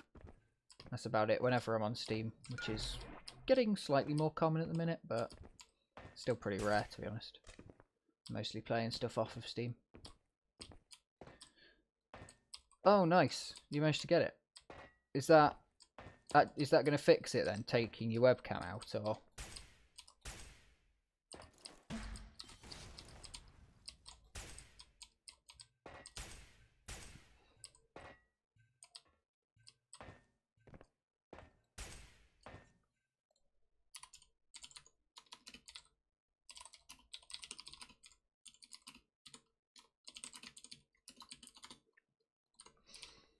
I wouldn't say professional, but you know. I, wouldn't say professional in any sense of the word, to be honest, with the amount of times that to, today I've missed um, changing the scene. Let's put the music back on. There's some. I've got it quite quite nicely professionalized, but it is. Uh,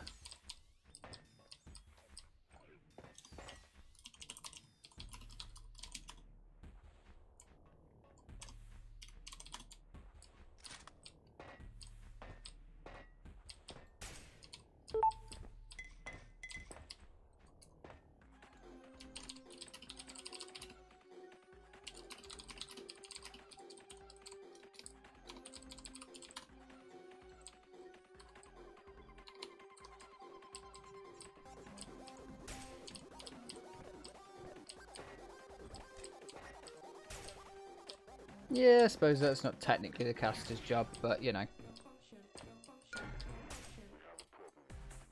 Okay, we've got got games. That was almost. Should be a second I change the video side for you. Yeah, theory. In theory. I've got nice professional things like that. And my music apparently not playing. Come on. There we go. Right then, let's head over to the final stage. What games are going to be good? Hot Dog vs Wolfenstein might be good. Tommy Collapses, that could be good. Pakaronos, that could be good. Pendula Gats. I haven't seen Pendula play, play in a while, so I'm not actually sure on that one. Professional music is back. It went through the whole thing and then paused. It's having a few problems because it's a diff it's technically a different set of music, but it sort of tries to play itself consistently through the two when you connect to servers. Pendula's very good. That could be a very good game then.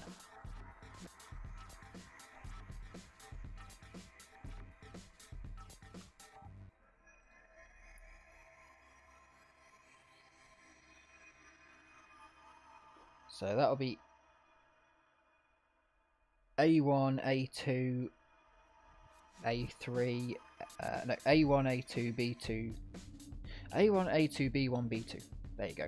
A1, A2, B1, B2. So that's a good view, and then I can scroll across. No, I can't. I can resize the screen and I can get it so that it will show the next round when we're on to the next round, and it will show you where the semi-finals are going and where the grand finals, and then we'll get the bronze match. So it is a um, it is single elimination on this. So let's get into the servers. They've been taken down. Let's go over to Pendula v Gats because I like Gats' play style, so that'll be A1. I like Gats' play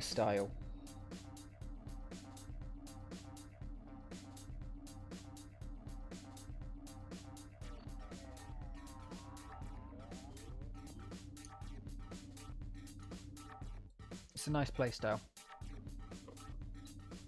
Very, uh, very consistent, very item based, very Unreal Tournament like.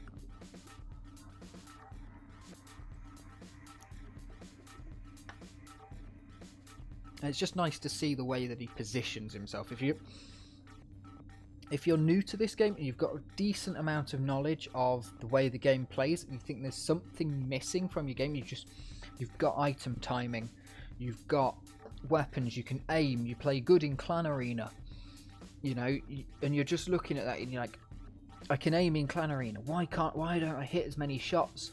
Or even if you've got all the percentages, why do I die? Why do I? Even if I've got the timing, why? It's positioning. Nine times out of ten, positioning is the thing that you just it's difficult to figure it out. You've got to watch your demos back, and you've got to watch other better players play. So, yeah, that's that's what I'd recommend. Recommend hopping in, taking a look at someone like Gats, who's going to try and play incredibly good positioning.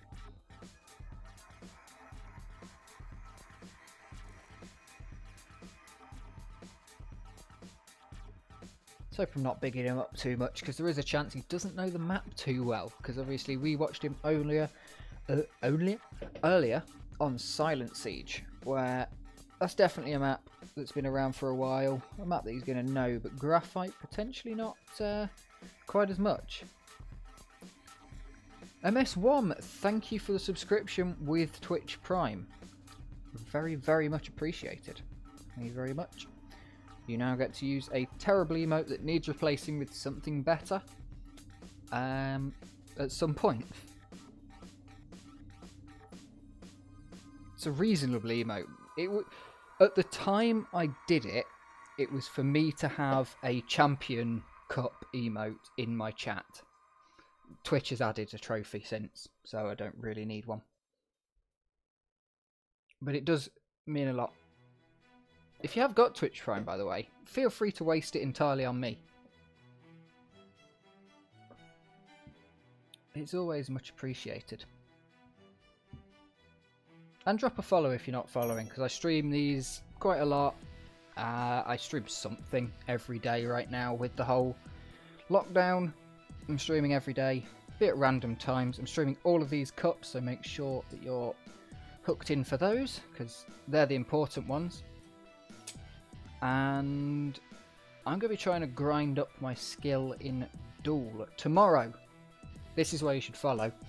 Tomorrow, we have a CTF Cup, which I'm potentially going to be playing in.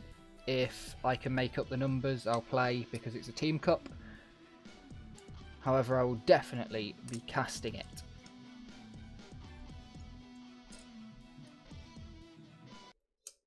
So you don't want to miss that one. So the winner of this match actually gets to play Dodger. So this is the unfortunate position of if you win, you get knocked out.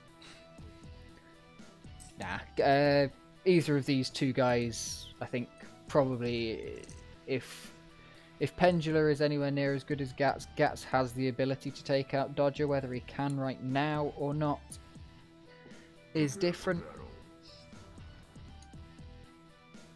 But here we go. Five, four, three, two, uh, I won't be on a team. I'm going to be... If there's two lone players signed up, then I will make up a team. If there's only one, I won't be making up a team, you know?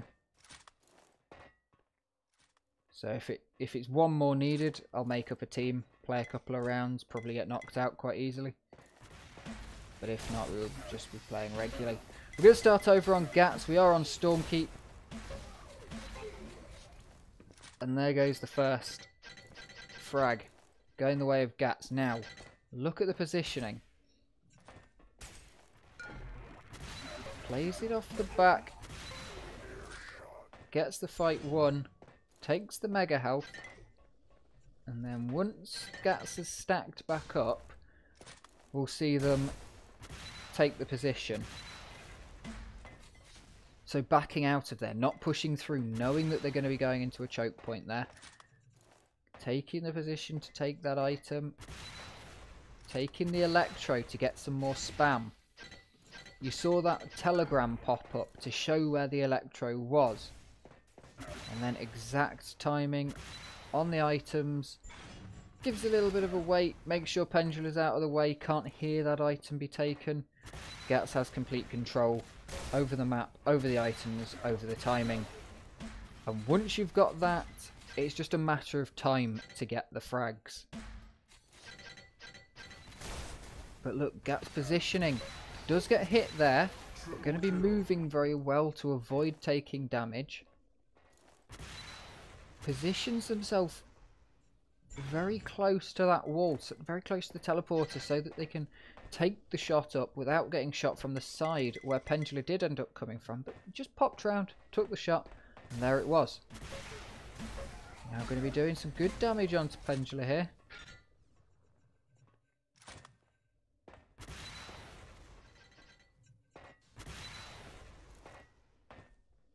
Now, Gats, look at that stack. An absolutely impeccable stack. Beautiful bit of movement to get up here. And now taking this positioning challenge. Going to be dropping into the lava a little bit, not wanting to be right down there. Pendula's going to take advantage of a slight misplay from Gats. But now, see, Gats waited on that timing. Pendula has no idea of the timing on these items. It's going to be very difficult for them to get back into this game. Luckily, we are playing on Stormkeep, which has a lot of shards as Pendula picks up a second. It's got a lot of shards. It's got a lot of little bits of health. Fives are all over the place. Little five bubbles. Well, that brings you extra health. It brings a lot of the health on this map with no minor items. Only the majors and those... No major, uh, minor armors, sorry. There's 25s, but they don't really count. Talking about 50s. This map. I see what you mean about the twitching. I'm not quite sure what that is. That uh, weapon bugging. I'm not quite sure what it is, really. The bob speed. I mean, they're walking. So potentially it's because they're walking. That the bob speed is just kind of off a bit. No, that's that's running. I'm not sure what's going on there. Hopefully it sorts itself out instead of uh, being very buggy. Nice shot from both those players, getting the flicks on. Gat's going to be getting a beautiful rocket round the corner. Looks pretty much direct to me. No, I don't think he's related to the connection. I think it's just a little bit of a bug. Because I wouldn't have thought the connection would have anything to do with the animation. Because, I, I mean, most people would play with the bob animations off. Whereas I play with them on. Or, well, don't play with them, but I stream with them on because they look prettier. So you can set that locally.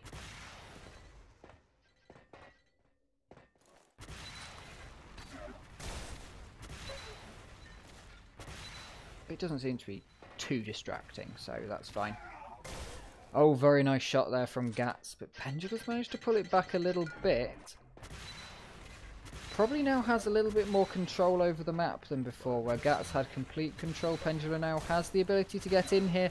Gonna go down and Gats is gonna get the item. But Pendula's definitely got something in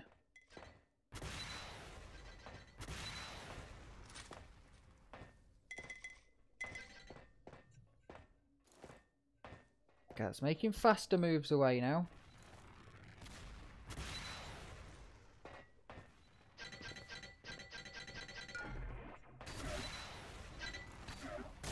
And some good shots coming out from both players. Pendula managing to do a lot of damage to Gats. Goes down there, but Gats isn't on the highest of stacks. But Pendula's going to be into the lava, and Gats is going to finish it off with a rocket.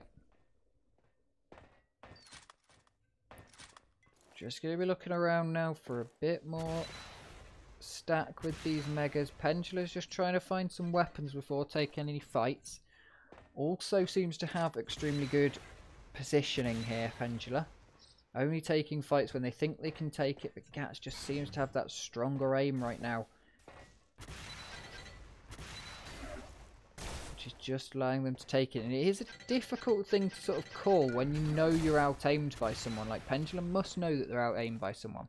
By Gats right now. When you're out-aimed, knowing when to take the fight and when not to take the fight. Because you, you can... Oh dear, that wasn't good you can take too many fights because you're like, well, I'm just going to lose them anyway, when you could really chip away and be able to get some fights. Or you can take not enough fights and just back away from everything and lose a couple when they force it when they've got great positions. So it's definitely a thing that you eventually learn when you're playing this game. Yeah, getting trapped in the lava, it's something you can get out of it usually. But I think Gats just failed the jump to take the least amount of damage and sort of thought, I'm done for. Because if you fail that, you basically have one chance at failing that jump. You fail that jump and you're probably not getting out of just running out alive. So I think Gats was just done at that. Gonna spam off the back of that. Takes a lot of damage, only got two health and goes down. That item's up. Gats, he's going to take the kill. He's got five health left. Don't do the rocket. There we go. Kate, you fine. Didn't do the rocket jump. Picks it up just before getting hit by Pendula. Otherwise, definitely would have been death. 10 to 5 the scoreline. We're 8 minutes into this game. We have best of threes all the way to the grand finals tonight. There's been a lot of players, so we are in for a long one. Triple kill.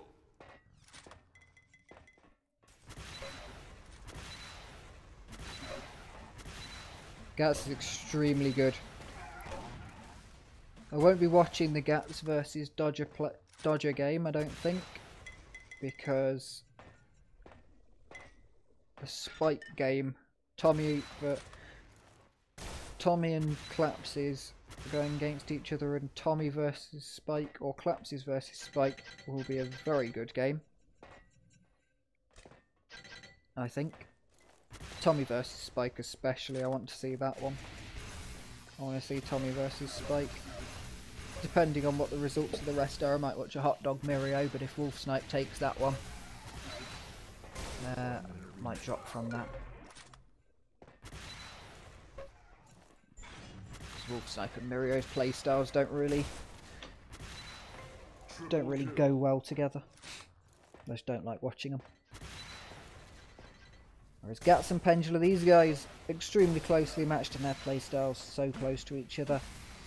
It's interesting just to see the slight differences and the slight mistakes that they have to make, because these guys both work on forcing the opponent to make mistakes and making no mistakes themselves. Is why we tend to see lower frag games from these. But we've got 20 seconds left. Pendula needs it. Needs to get 10. One frag. 10 to 11. Pendula needs just one more frag. Got Gats on the ropes. No, don't pull out now. You've only got three seconds left. Not going to be able to take the kill. And there it is. An extremely good game. Pendula pulling out there at the last second. I don't think they realised quite how close to the end of the game we were. But we're heading over to Aerowalk. We'll start off on Gats on this one. He's a slower player, so potentially Aerowalk. Not going to be a favoured map. But we might as well.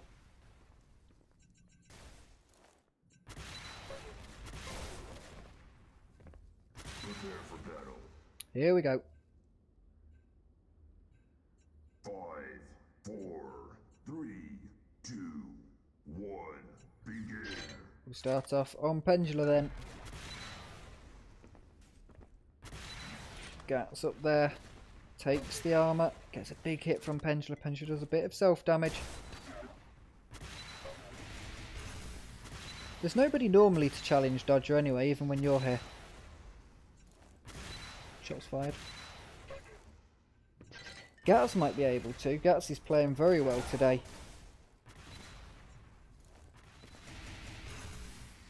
Might be able to give Dodger a bit of a run for his money.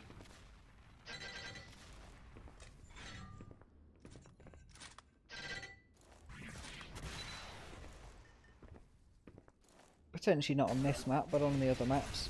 And he can always ban this map if he doesn't want to play it.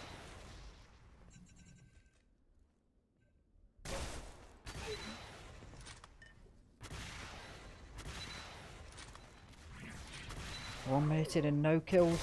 And there's the first one, just over one minute. Gats gets the first kill with a nice little drop rocket. Grabs the mega armor, uh, mega health, sorry. Now going over to the mega armor, grabs that. Pendula very, very low here. Is Gats going to make the kill? Not much damage getting dealt there, but it's something. Pushes Gats out of the position, and there's the bit. There's the bit of extra damage that Pendulum needed to really push back into this game. Manages to get the mega health. And now Gats is just going to sit on this armour.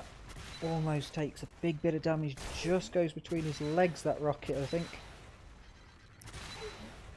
Direct rocket round the corner.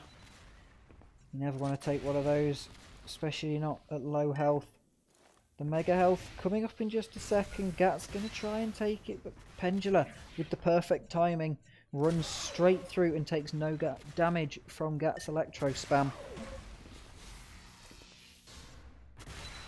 And now we're going to be looking to see if Pendula can make a difference and make some frags on the board because he's had control of this map for a minute and a half now and hasn't managed to get a kill on the board or really get Gats super worried.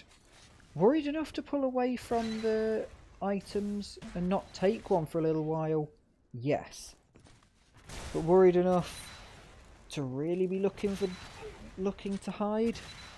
Not just yet. Still going in, still playing aggressive. Gats flies out of there as he hears Pendula pop round the corner.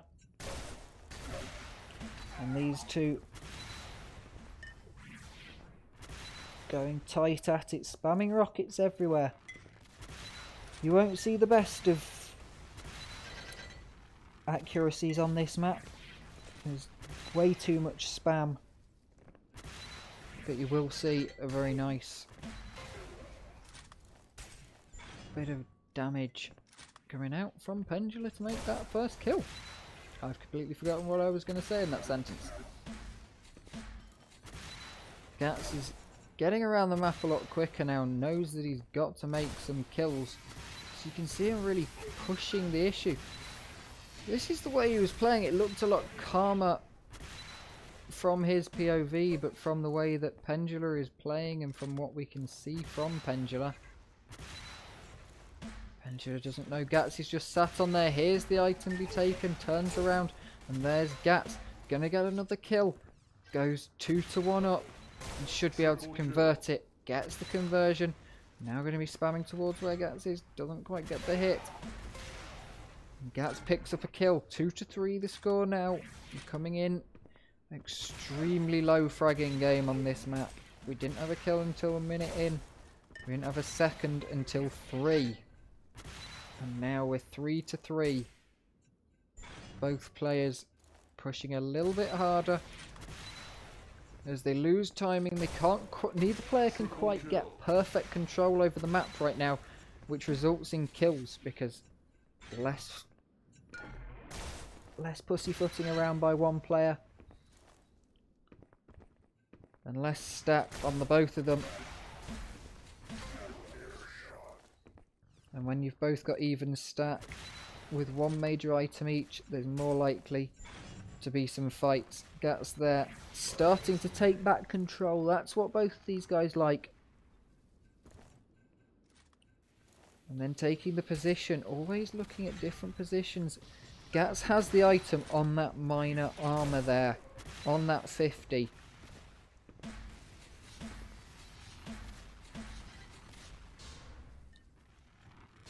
It's definitely going to get closer this match.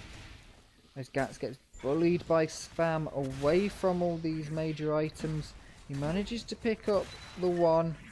Gonna need to get this second coming up in just a second from now. Gets bullied off of it, gets punched off, goes for the armor, doesn't get the mega health, and Pendula's able to get a kill and get back on. And now has a chance to get back on the scoreboard. Beautiful shot, Gats extremely low, and a beautiful air shot there from Pendula. That was an incredible shot.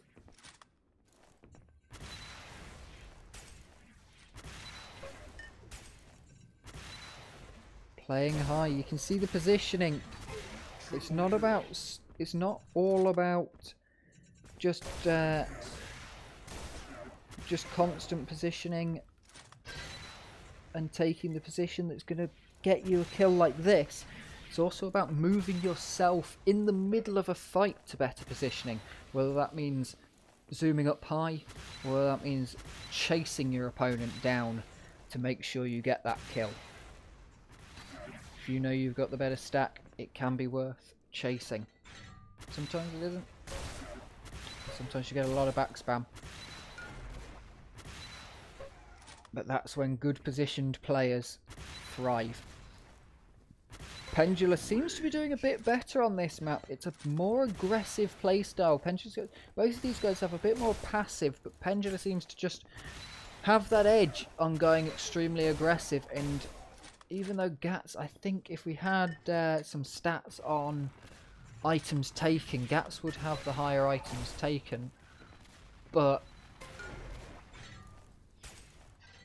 it's definitely uh, definitely coming down. No, sign-ups are closed. You can sign up for tomorrow's CTF though. 3v3 CTF.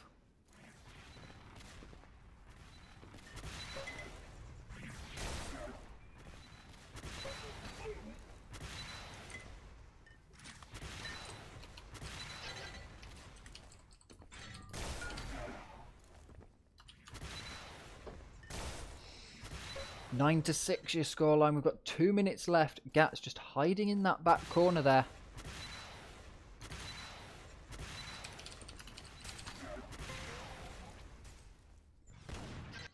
And goes down. Pendula has a four frag lead.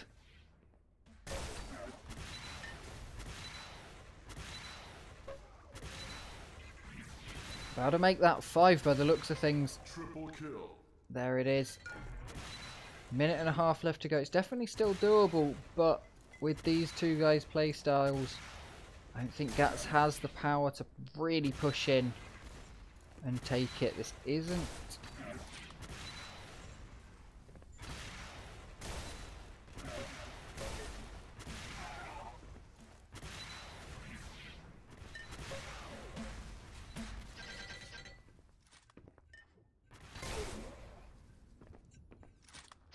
Sort of map for Gats. So one minute left. Gonna have to make quite a comeback here, but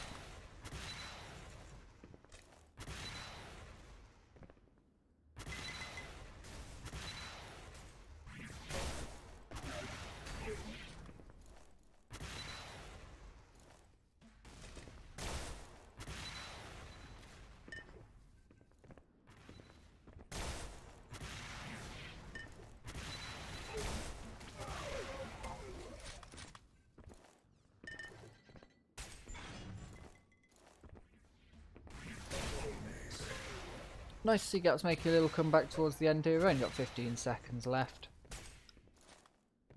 But yeah, this is... Uh, neither of these two guys really main map.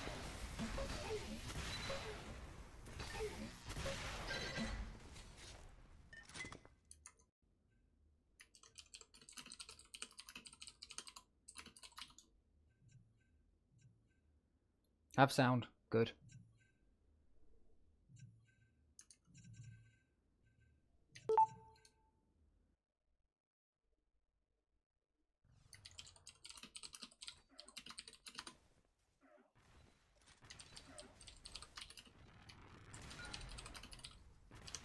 Prepare for battle. Five, four, three, two, one, begin.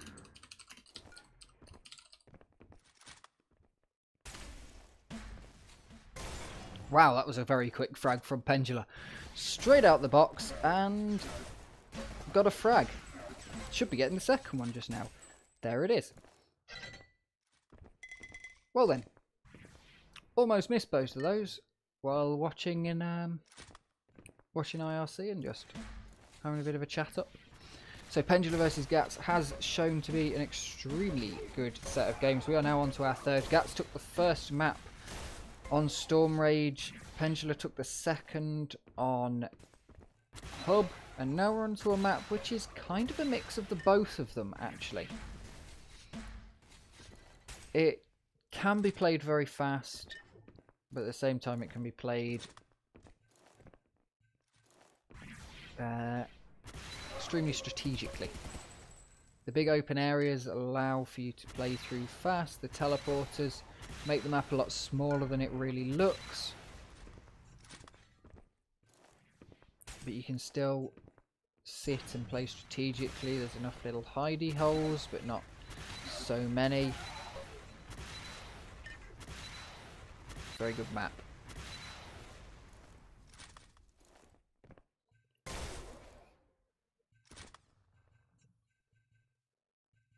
Pendula and Gats both. Extremely good players. Pendula just swinging a little bit ahead.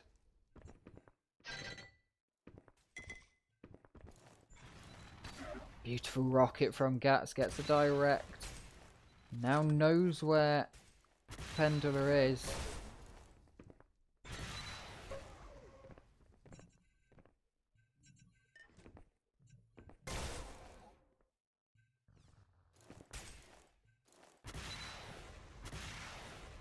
Swinging? Hey?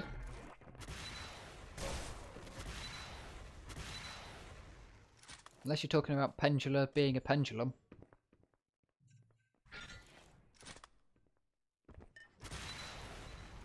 Does seem to be getting uh, getting going now. I suppose you could call that getting into the swing of things. Appreciating the commentary. Entirely unintended. But there we go. Ooh, very close there. Gats popping out both corners with rockets. Nice thing about having curved rockets, you don't have to quite get round the corner up there. You can sit sort of in the middle, posting rockets through both. And now can Gats stop the swing of the pendulum? Well, that shotgun's going to stop a bit of the momentum.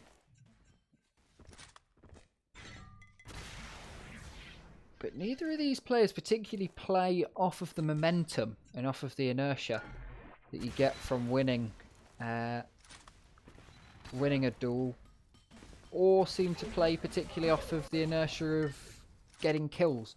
It's more getting the items and controlling the items, which obviously brings its own inertia of just simply having more control uh, and more more health to deal with the control and being able to stack up like that. So they both obviously get that, but there's some people who really, once they start getting kills, they really start getting kills and they trust in their aim more and they just go absolutely ham. These guys are a little bit like that. Everyone kind of is. If you start sucking, then you do go down a little bit, but nice movement from Gats, knowing Pendula wasn't going to make the hit there. But Pendula did do quite a lot of damage to Gats, considering the stack that they had before this fight. Triple kill. And there we go. Gats makes himself back into the lead. I think for the first time in this game. Gats is now in the lead. But he's just going to be crushing these items. You can see it's just absolutely perfect timing. Turning up a second before. In a position... Watch this position. So this is one of the things I was talking about with Gats play. Watch how he's going to take this item. Okay. Five seconds left looking around, not sitting on the item because you saw Pendula comes through there and instantly spams the item. If Gats was there, would have taken damage. So Gats sitting on the outside. He's going to make this frag and looks around the room. Checks that Pendula's not there before going for the item. Again, because otherwise Pendula could come in, spam a rocket up there, especially on that pillar, knock Gats off of it, jump in, grab the item before Gats, and take, the kill. So that's all part of the positioning for items. It's all part of timing items. You don't want to just go and sit on them, because otherwise your opponent's just going to come in and take you out. Pendula looking extremely low on health though right now.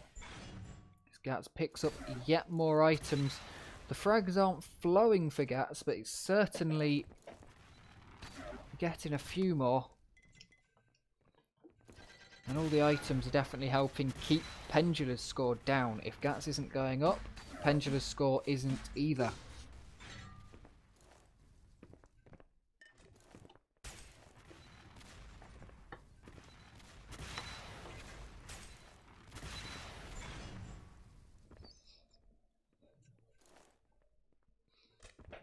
Beautiful play here coming out from Gats. Pendula certainly not playing bad on the other side here though. Just unable to get that control. Needs just that little kickstart. Gats just isn't letting in, isn't having any problems. If Gats just makes one little mistake, then we might see Pendula able to start getting some momentum with the items and just get a little foothold back in here. Because right now, Pendula just doesn't have those those little item controls just doesn't quite have what's needed.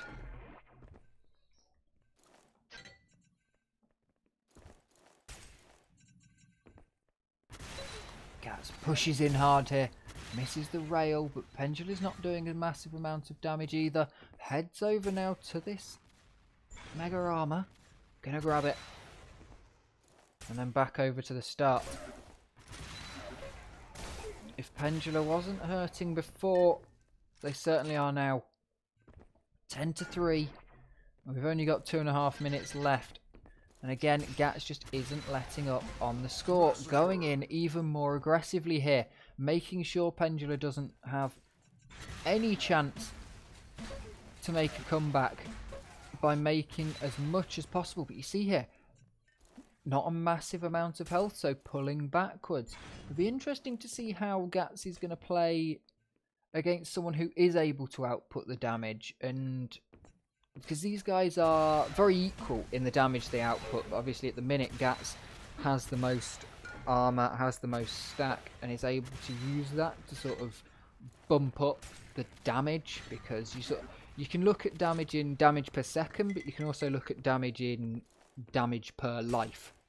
And if you've got, if you go into the fights with more health, more armor, even if the other person's doing more damage per fight, you know, you come out of that with one health because of the uh, because the armor and the health you took into that. Well, you've survived. You can win a duel by taking more damage and dealing less. It is possible to do. You just stack up more. I have in fact done it. One minute remains. One minute left. Pendula not looking like they're going to be able to pull this back. Graphite to head the way of Gats, which means the overall series is going to be going to Gats. Well, Pendula's certainly not going to go without a fight. Definitely going to try and bring this back a little bit, but I think Gats is looking at the score and looking at the time and thinking, if I just stay still, because you don't want to move around too much while you're in the lead and you're trying to do this. You don't want to move around because you will get caught and you'll catch yourself out if you push in. So Gats manages to get a, well, force out a self frag. But you'll see Gats just staying still in a lot of the positions. Unless it's going for an item. But there we go. Another frag from Gats and it's GG. 10 minutes. An absolutely amazing game we had just there. Right down to the last wire.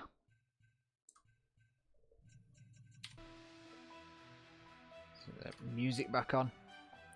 And over onto here. So we're going to move the bracket on a bit. So extend that to there. And bring that in there. There we go. Probably actually bring that out to the finish, can't I? Yeah, there we go.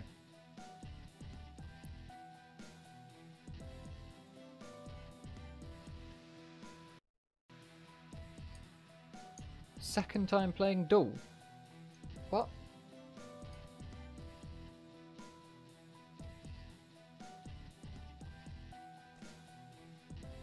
Alright, second time playing in Duel.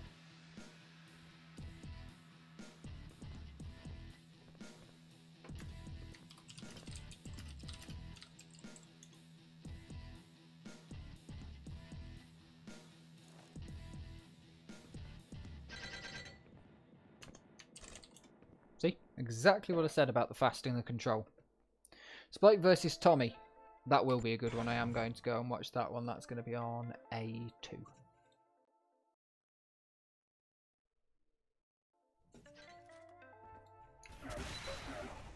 We're quite a way through this game.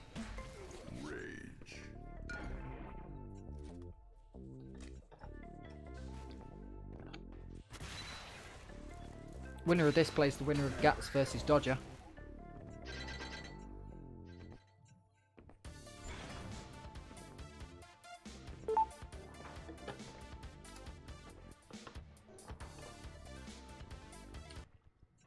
Thanks for the switch scene.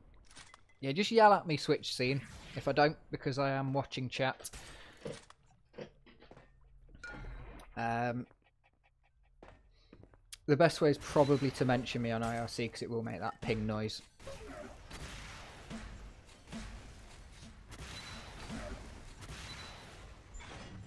So this is a very close game. I'm not sure if there's been any more, but we are on Tuhma, which does bode good because we don't always see this map. This is a very specialist map and yada yada yada. We always have these arguments whenever this map's involved. 30 second timing on that so you can you can because uh, solid does it all the time. You time the mega you time the you time the mega and you get the rotation of the nex and the rocket launcher. And if you do that you can just win because your opponent won't be able to output enough damage with the remaining items. So we are seeing here Tommy playing a bit of plus back. Gonna want to get back down that hole to be honest. Because Spike has to get some kills in.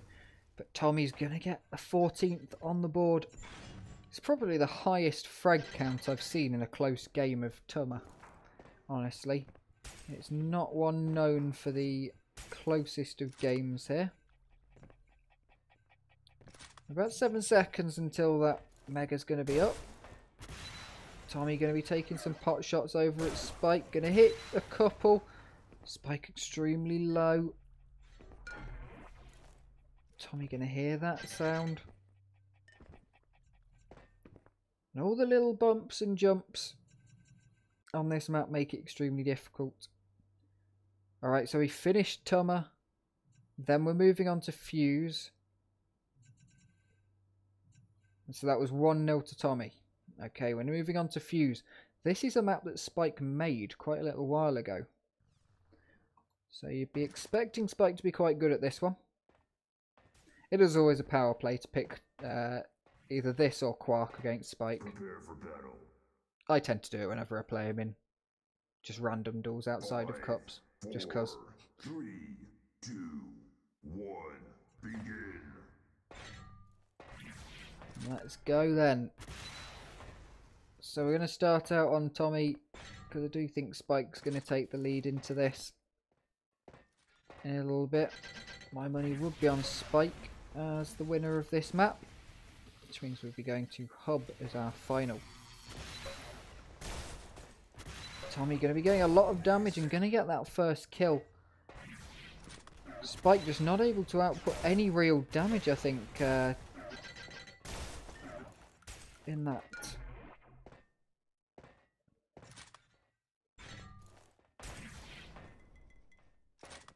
Big power play to move through there. Good damage coming out from Tommy Spike. Very low right now. And there's this great bit of nex from Tommy. Just look at the way he, he plays it like a true. That. Line up, find where they're going, flick and click. Flick and then click. As those of you who play CSGO will know, aim, scope, flick, fire.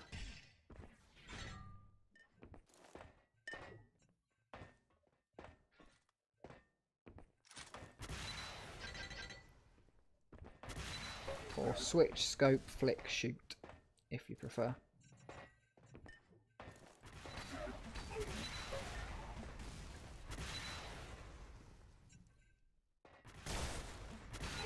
Tommy getting some great damage here, but he's going very low.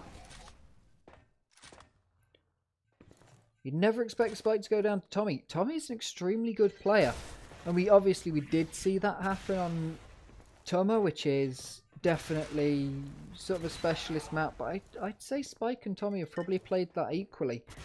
But Tommy's been getting a lot better recently. He's definitely been pulling through.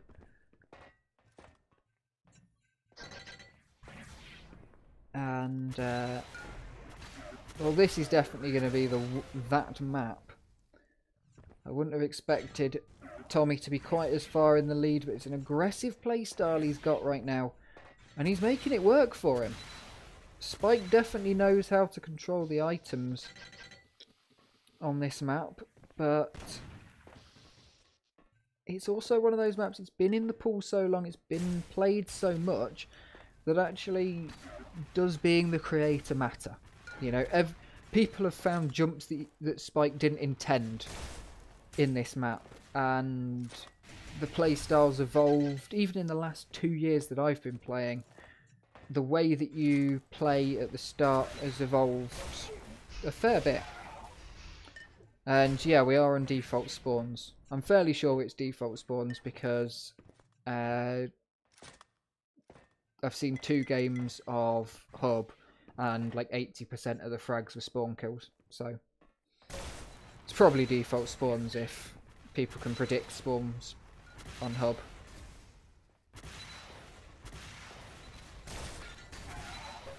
So no complaining now. It is a difficult one. I'm glad we tried a different uh, a different spawn system last week. I'm very glad we tried one, but Ooh, mutual frag. I love one of those. I love those, and I also love voice cracks that happen.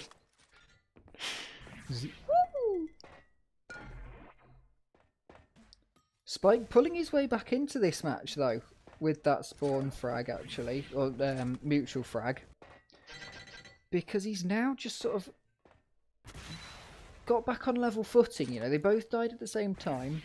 They both respawned at the same time, so that's that puts them both onto reasonably level footing for each of them. Now we're watching Tommy just take control of these items. Manage to grab up the Mega.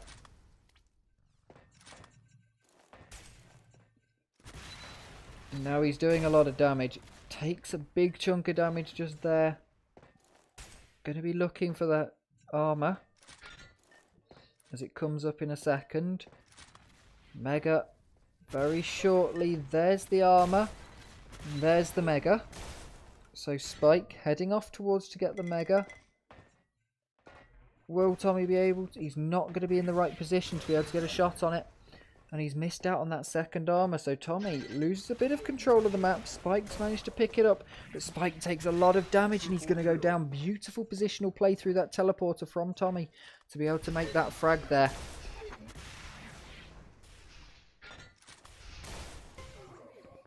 Spike converting it though. Getting the revenge. And then Tommy takes it again.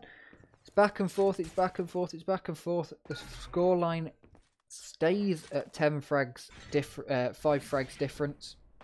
10 frags to Tommy now, 5 to Spike.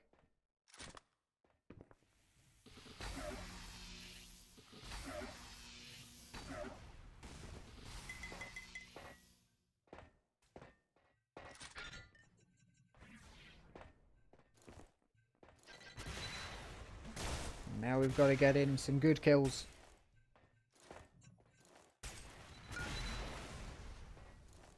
It's quite annoying that these guys are both using yellow because I changed my yellow, changed to a yellow crosshair to make it slightly more visible on uh, some of the white parts, particularly once you've turned off. Um, oh, nice shot from Spike there. When you've turned off picmip, there's a lot of white, lot more white spots around these maps, so I turned it off.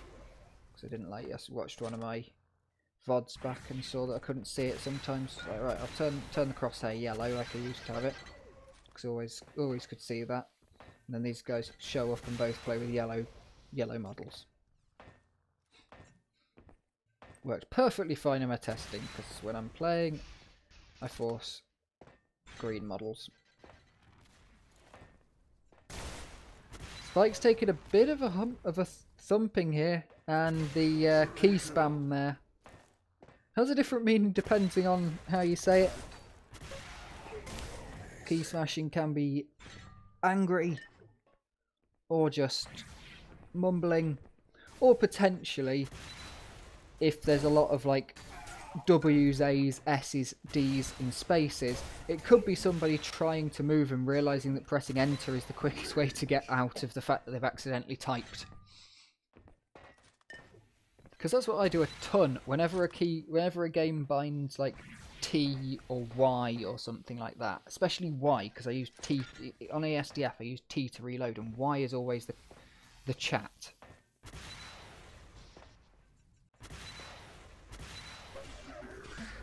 Yeah, crosshair with more shadowing. I need to make my own crosshair because I want one. Uh, if you've seen Unreal Tournaments crosshairs, Unreal Tournament 4, the default crosshair from Unreal Tournament 4 is beautiful. I swapped between... When I was playing Unreal Tournament, it was that or the dot. Then when I stopped playing Unreal Tournament, it, I've swapped between uh, this crosshair here and the dot. And back and forth between yellow and white quite a lot. Depending on the game, depending on how thick I can make the crosshair. I'd like a thicker version of this. To be honest. But it ain't too bad.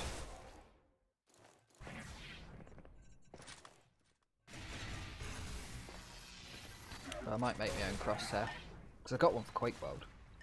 Got a beautiful one for Quake World off of the thing. I might even might be able to use that if it'll pack up nicely. Because it is just a PNG, so if I can pack it up nicely then it should work. It's probably going to be the wrong size and everything. I'm sure I can make it work, whatever. Definitely this map now running the way of Tommy. One minute and seven frags. Not really doable, but...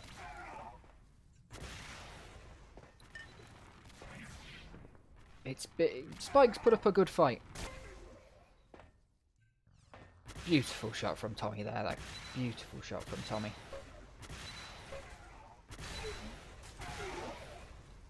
And not so beautiful shot as he blows himself up. Oh, beautiful shot again with the blaster, knocking him off. The taunting chat. Oppy OP, indeed.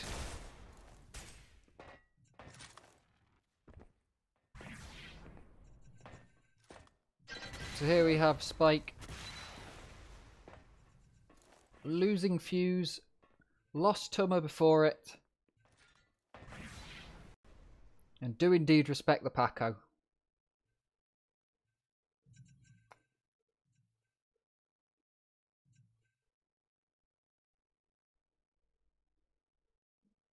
Should be an exclamation mark Paco command actually.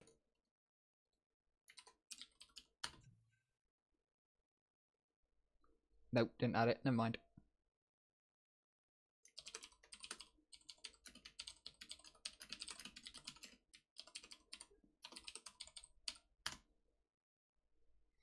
Paco is Paco.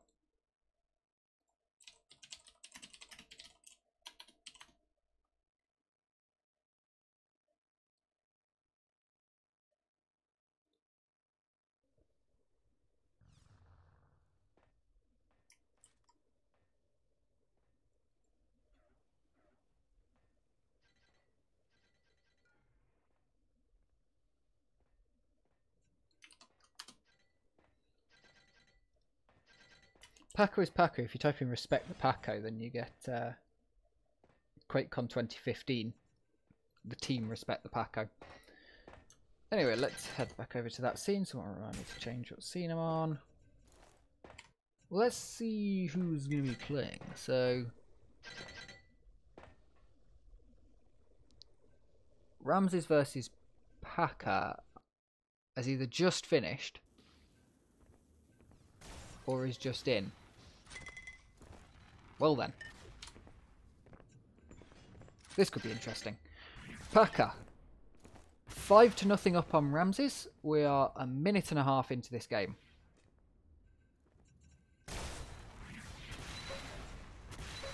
Beautiful shot there from Ramses. Could be able to capitalise on this, but Pack is going to get the items and be able to have the health. It's a good amount of damage dealt. But it's not going to quite be enough. A beautiful positioning there, even with the low health, but going to go down. Just wasn't quite enough. Pushing a little bit too hard with enough, with low health to be railed. Went in there. Less than 80, 80 health. Railable, rocketable. Less than 55. Grenadable. Those are the numbers you want to be looking at when you're going into fights. But sometimes you've got to take the risk. You can't just sit in that room forever. Otherwise, especially while someone's up here where Packer was, you can just bomb that um, that electro down there, get the mines in, explode the mines, and it's bummed.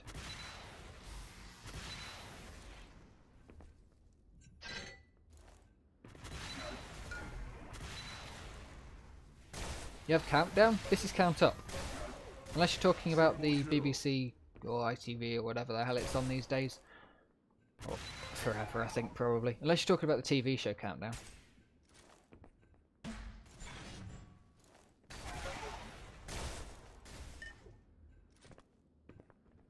Have you been watching this all the way through, um, Mirio? Do you know what, what map are we on?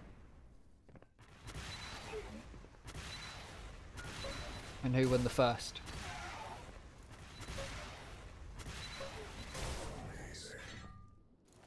Ramses one Fuse. And that's it. So we're on the second map. This is second. Right, sweet. Ramses is back in control of this though. Taking the lead, and if Ramses one Fuse, this could be the position. Whoever wins this plays Mirio. Tommy's got to play Dodger in a bit. We won't be watching that. I've got bored of watching Dodger. Decided decided to just not watch him anymore in the uh, group stages.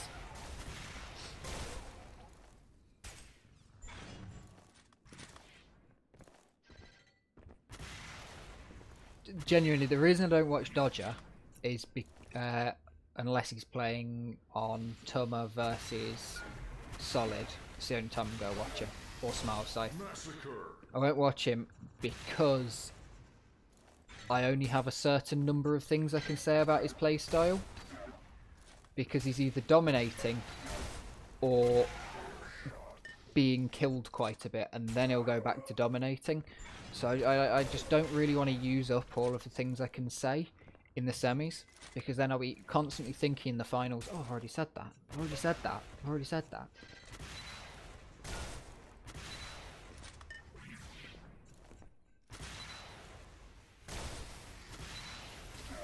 But I, if anyone takes a map off of Dodger, by the way, any anyone takes a map off of Dodger, I either want you to send me the demo, or preferably someone who has server access.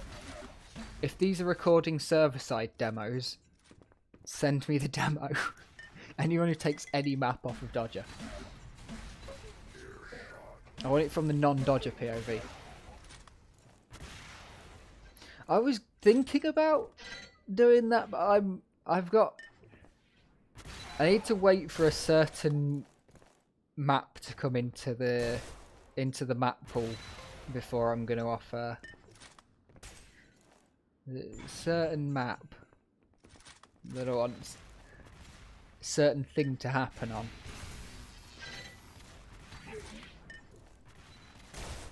That's when I'll put up. Uh, when I'll put the money. It's the Corona struggles. I'm getting paid to sit around on my ass at home and stream Xonotic, to be honest. So it's not so much the problem. Problem is, I keep spending it on bike shit. I upgraded all my bikes, and then this hit. I was like, "Ah, come on!" Upgraded all my bikes for the spring so could go out, and go ride. Like, right, got my flat pedal. Right, got got everything set up. Really nice, really well done bikes. And it's like, ah, well, bike parks are all shut, so that ain't happening.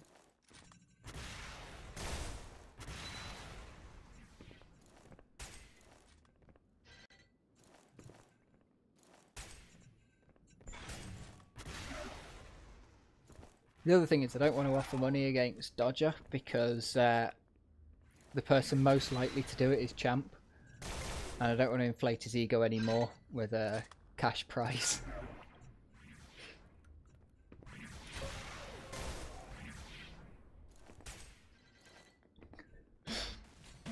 Ramsey's looking to be taking this one though. Mirio's going to have to put up a bit of a fight. Well, not Mirio, sorry. That's uh, that's Mirio in chat. He's not playing. Whoever wins this is playing Mirio. Packer is going to have to put up a bit of a fight on this one.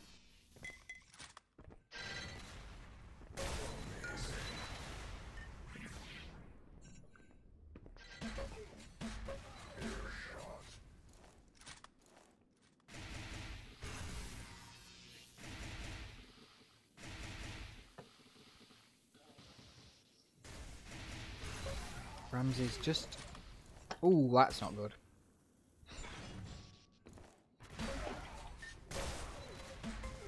Big damage coming out from Ramses, racking up the scores on the board, managing to take all the little items and all the big ones as well.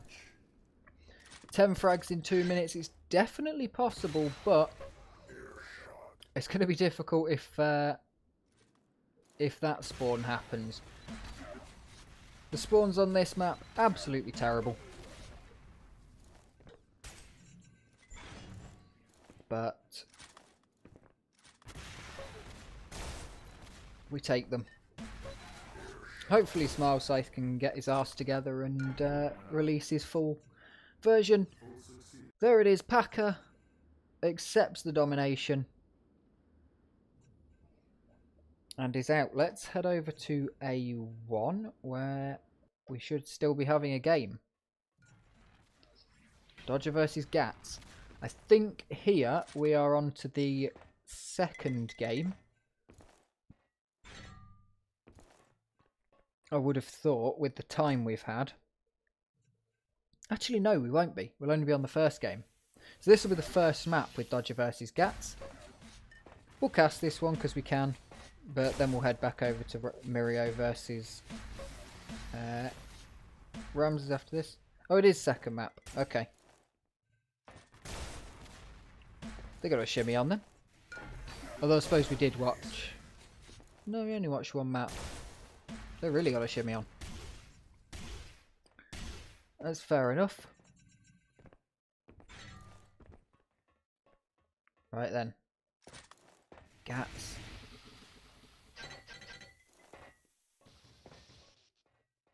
First was Silent Siege and a Dodger win. Alright. So, Gats not managing to even get a kill on this map, I don't think. This is a very un-Dodger-like map. Dodger's obviously very good at it, very good at every map, but it's not a map. You'd sort of put Dodger down as... Uh, if you put his playstyle down and then you put this map's playstyle, it's not sort of, it doesn't sort of line up together. Dodger much much faster, but the tight corridors to wide open spaces. If you bomb through there, you're just going to get hit. Dodger plays like that. It doesn't really matter if you can hit them before they go into the teleporter. On pretty much the frame before, I think that one was. Then you're going to have something for sure. Heading into the final minute of this. One minute remains.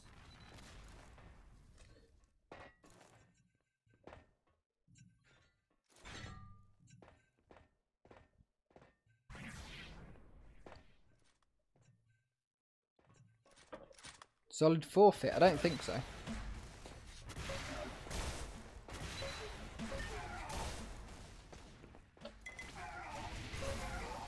He played his default win.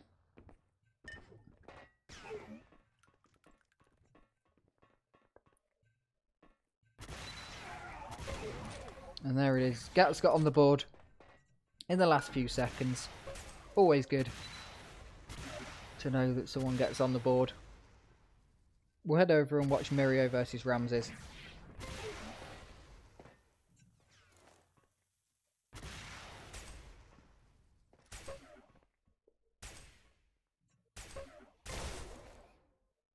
There it is. Two games. Dodger takes them both. Gats got a frag. Yeah, getting a frag against Dodger is, you know, I, I try to stay out of negative. That's my aim. Which is a lot easier to do in uh, in Xon than others. Right, let's head over to A2. We've got Tommy floating around. Never mind, we'll head over to B1. B1. Join there. Sanchez. Where are these guys then? Are they B2?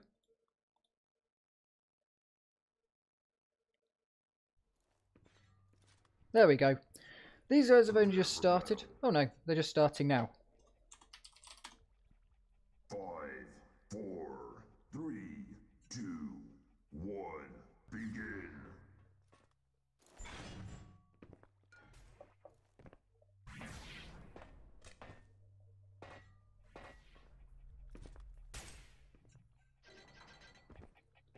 So, Miriam Ramsey's here. This is their first game. Going to be on Tuhma. Or Tuhma, I don't really entirely know how you say it. But it's a beautiful map, isn't it? It's definitely one for the uh, one for the steady player. Nice push through there from Mirio. Manages to get the kill onto Gats. And now should be able to take all of these items. We're going to see the arc here. One of my favourite weapons. So this is looking to replace the machine gun. And some people like it, some people don't. I like it because I come from games with lightning guns. Um, some people don't because it's an extra um, extra main weapon.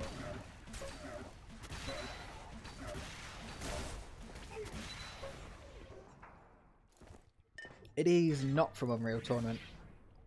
Well, I mean, it kind of is. You got the link gun, but it's very different to the link gun. It's more like an LG. We play with uh, solid balance of the light of the uh, of the arc. So it's got blasters on secondary, which is quite entertaining. Ooh, just missing there. But Ramsey's now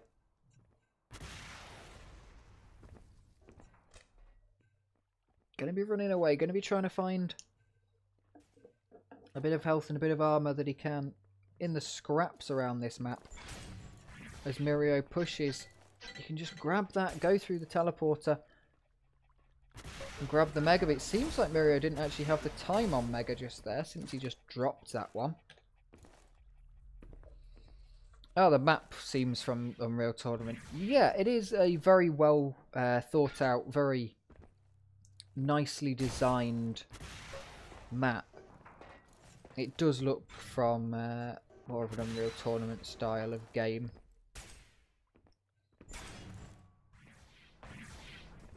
It's one of the first sort of maps that I think had a lot of work put into the textures, and it's a shame because I just R underscore picmip and turn them off.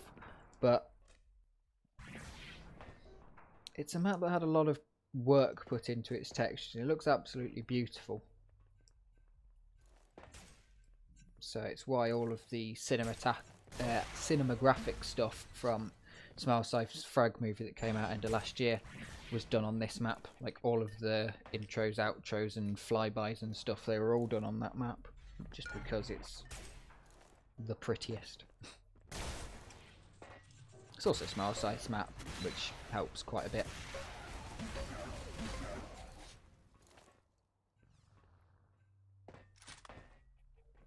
So Mirio, seven frags up against Ramses.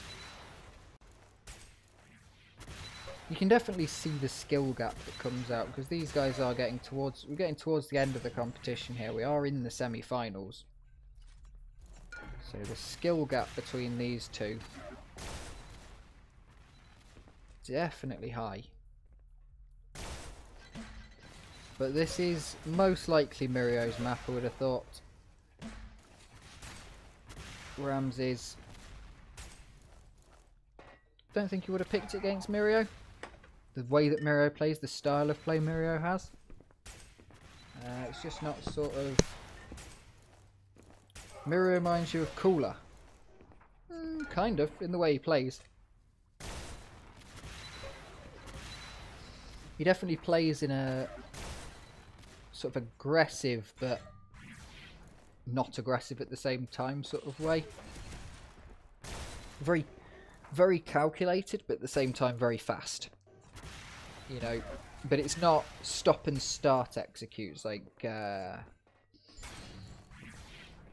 like Gats was playing. Gats and Pendula, they were very, very calm, very collected sort of play style, but they were extremely, you know, they were they were stopping and thinking, and then they would go, go, go, go, go. Whereas Mirio, he stopped right now, just to prove a point, apparently. But usually he'll be uh, he'll be going. This map does draw that out of people, but yeah, it's it's one thing to rely on your opponent to make mistakes, like Ramses has just done. Uh, Mirio made a mistake being in the wrong position, didn't have the stack but it's another to force your opponent to make mistakes by not making any.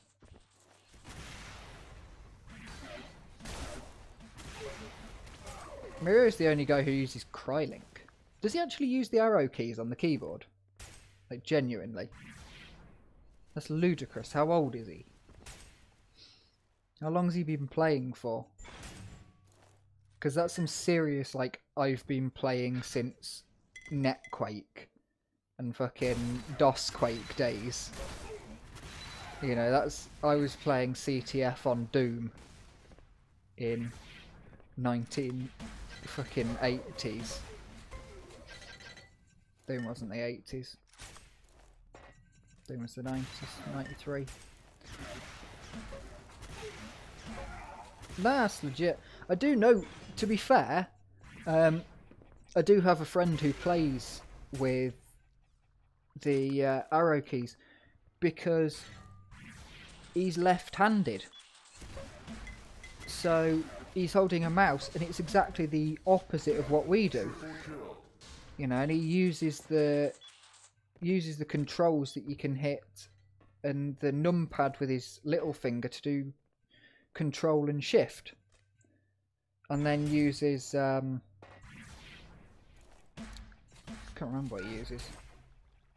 Might use his thumb to do control and something else. Uses some stuff. Plays CS with it. Uh, World of Warcraft as well. That was more of a World of Warcraft thing though, I suppose, so it didn't really matter massively. And had a left-handed uh, Razer Naga, so...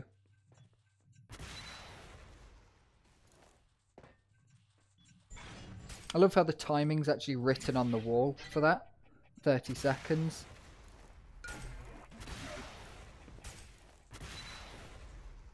It is quite nice to just walk around this map and look at all the little things like the Arena FPS logo. They are legends, by the way.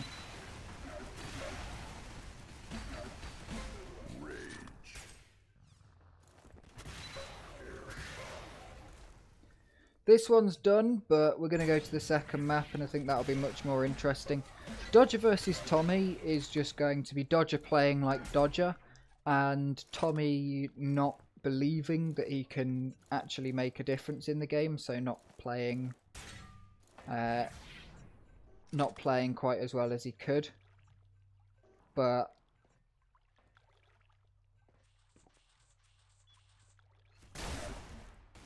I think this will. I think the next map will actually be good because we are uh, we're onto hub. I think, which will be a bit more interesting. Hub's one of the maps I think I saw, unless it was the last one that was dropped that I saw.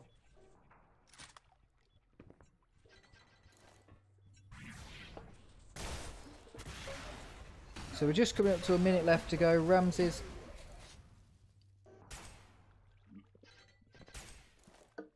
very much out of this one. That was a very nice shot.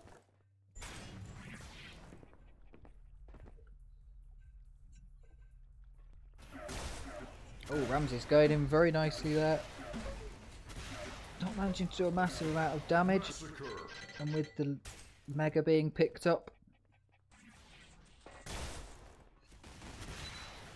I mean, I wouldn't put it past him to be able to do it with the ARO keys, to be honest, because it's just another form of playing, you know? When I first started playing, I asked one of my friends, why do we use WASD? And he was like, oh, so just trust me.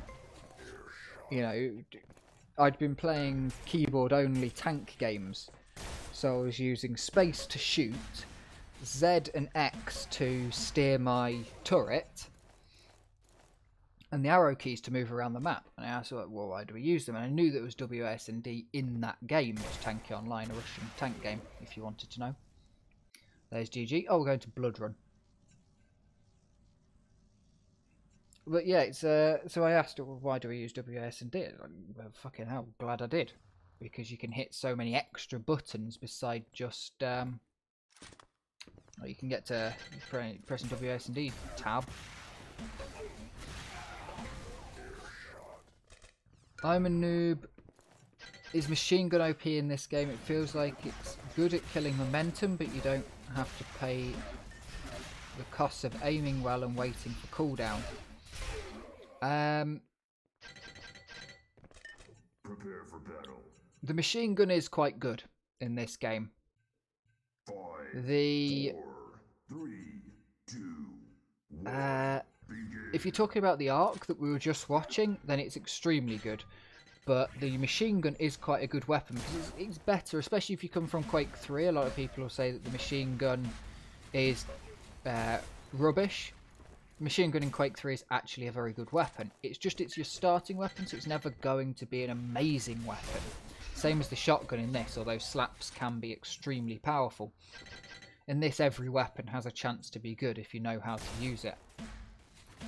But yeah, it does have does have tight spread.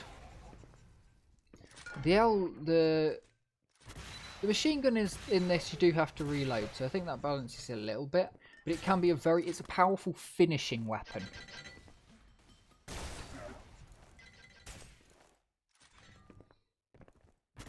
It's an extremely powerful finishing weapon.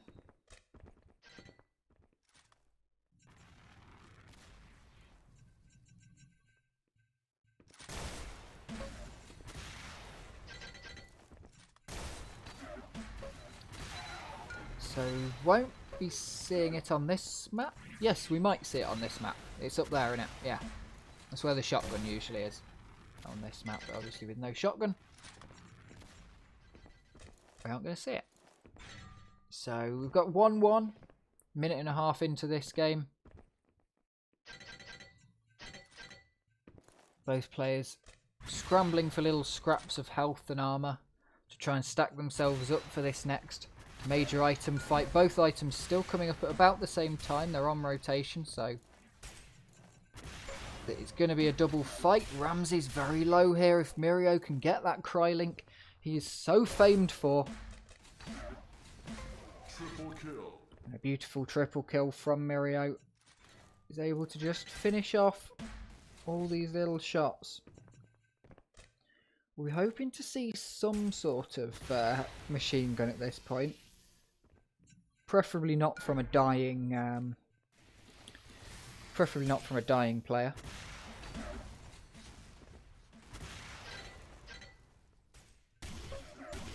So hopefully Ramses or Mirio, whichever one really, is able to get some machine gun out. Nice little bit of electro spam. Ramses is extremely low. Mirio's not going to be able to go through it. It's a beautiful air shot there. That was an incredibly nice shot right there. If you want to get some clips of this, by the way, with the Twitch clipping system, if it fancies working today, that'd be pretty swell. Mirio up a little bit early for that. But still manages to get it and get out without taking any damage. Complete control over this map.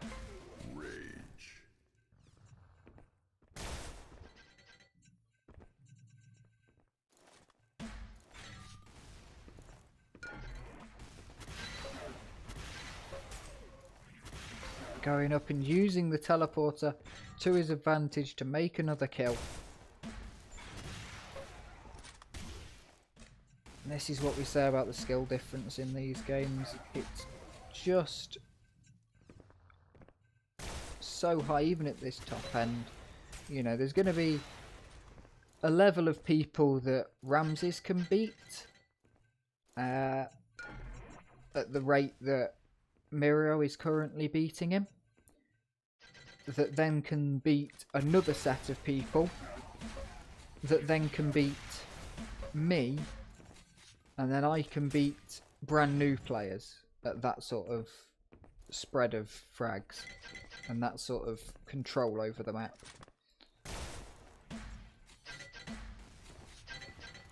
And then there's still people that can beat Mirio like this.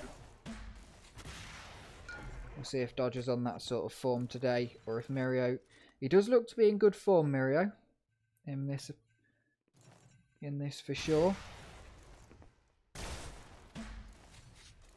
From what I saw of Dodger, he wasn't in bad form, but we didn't get to see him particularly heavily in his game against Gats.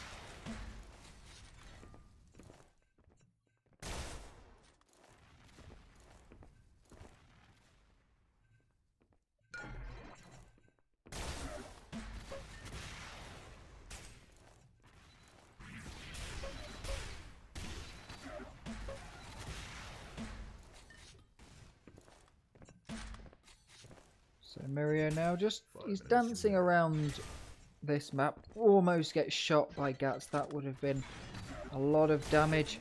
Well, not Gats, sorry, Ramses. Ramses is managing to get a lot of good damage dealt here though. But he's just not managing to finish it off. Yeah, Mirio is an incredibly good player. But Ramses just not quite managing to finish any of this off.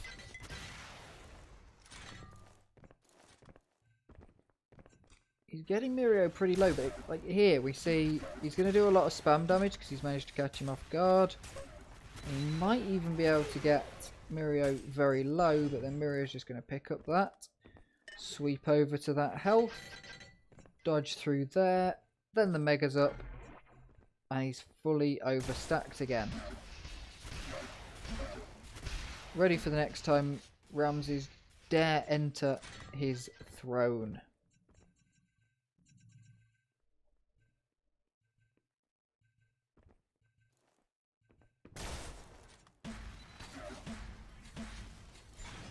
Beautiful shot there from Mirio. Massacre. Just going to wait for Ramses to pop around that corner. Almost certain he would have spawned there. And then Ramses manages to start picking up some items, but unfortunately Mirio's just in a position to hear him and create a blockade. This map is all about sound. Ramses going for the speedy exit, but a beautiful air shot from Mirio ends that thought process for him. An unfortunate set of spawns here. Ramsey's going to get almost taken out there. And again, it gets taken out. It's unfortunate here with the amount of spawns that Ramses is just getting an unlucky positions and the amount that Mirio's able to take these and use them to his advantage.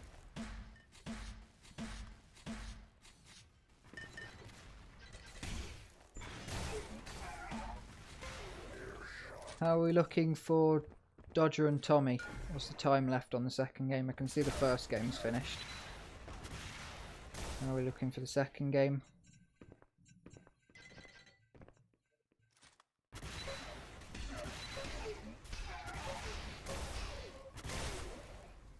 Oh, beautiful. Was a good bit of play from Ramses to gain that little bit of control back and manage to take Mirio out, but it just wasn't possible to hold it quite.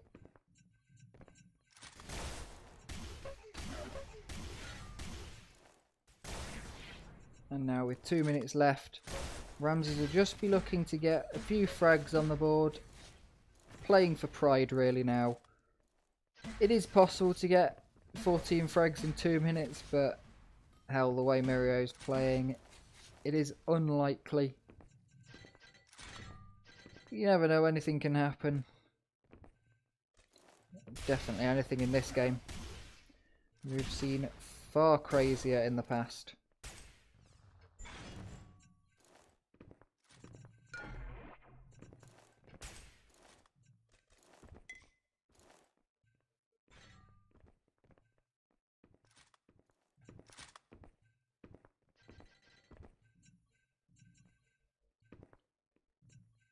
With one minute left, One minute. the movement with the Crylink from both of these players is really good. Movement with Crylink is always good. But both of these guys are really good with the Crylink. Ramsey's probably thinking uh, Mirio had sodded off a little bit there. He's going to hear that. Xonotic's one of those games you can hear anything from basically anywhere. So Ramses was able to hear that item be taken from probably the furthest way across the map as you can be. And as many walls in the way from that mega health. Mirio's just going to sit in this corner now. Wait for Ramses to pop across. Deal a bit of damage. Drop down there. Got to be careful of Ramses' damage. Can he manage to get this kill? Ramses is extremely low. Unfortunately, he doesn't manage to get it. And we're definitely looking at Mirio taking this two to nothing. We've had some close games. This wasn't particularly one of them. Ramses just wasn't able to get his foot in there.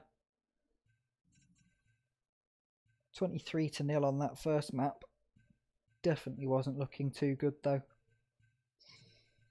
So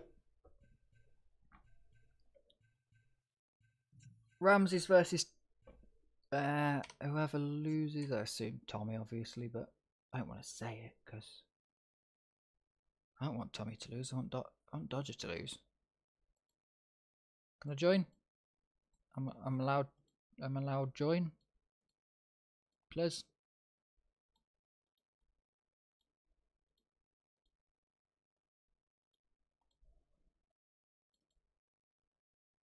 Okay, don't then. Let me join. Can I join that one? No. Join that one? No. Join this one? No. Oh, yep. Can't even join A1. Yeah, can't join A1. Are they maxed out at 6 players rather than 12 and it's just for some reason showing 12? Shouldn't be. No, there's 9 on the other one. Restart game. Yeah, sure. Try it.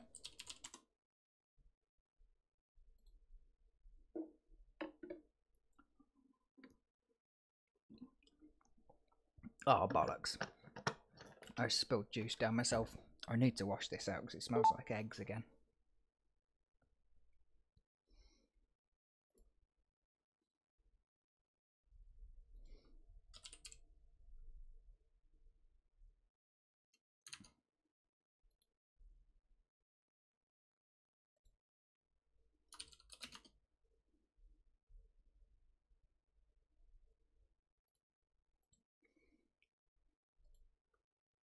Ah, right. Okay.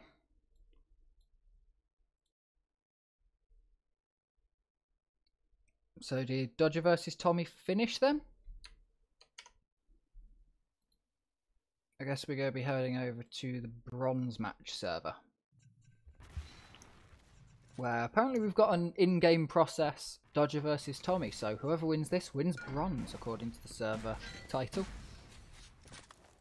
Didn't know you could change that without restarting the server. Tommy has managed to put in some good damage though. That's looking incredibly good. So.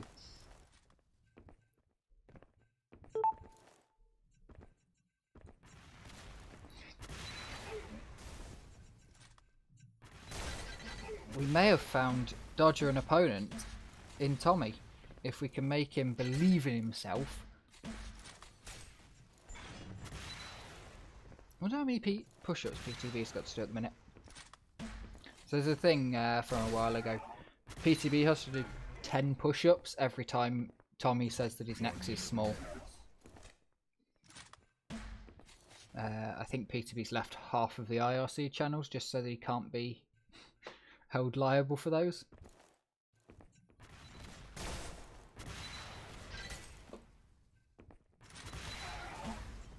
I started doing it, and despite like being reasonably fit, it's difficult to keep up.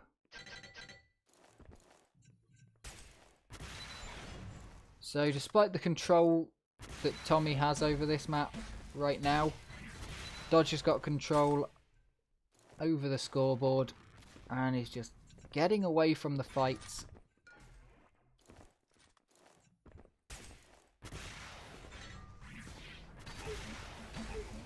Getting into the uh, Oh, Dodger, there we go. He gets the shot off. It's a good GG.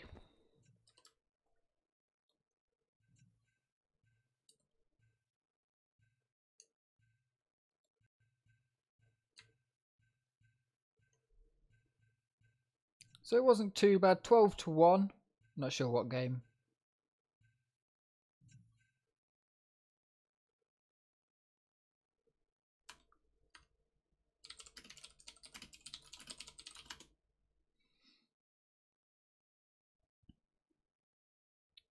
We're playing third places first.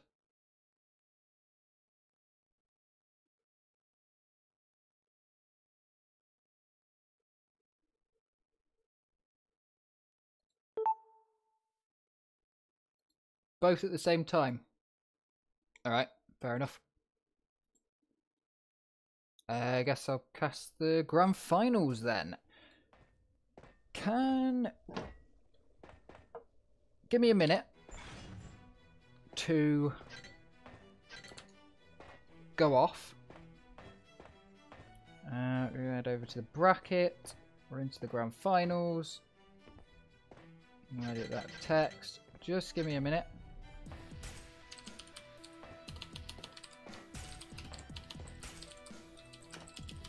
The grand finals are soon. We're waiting on the grannies to join the server for the grand finals. Anyway, um, give me a minute.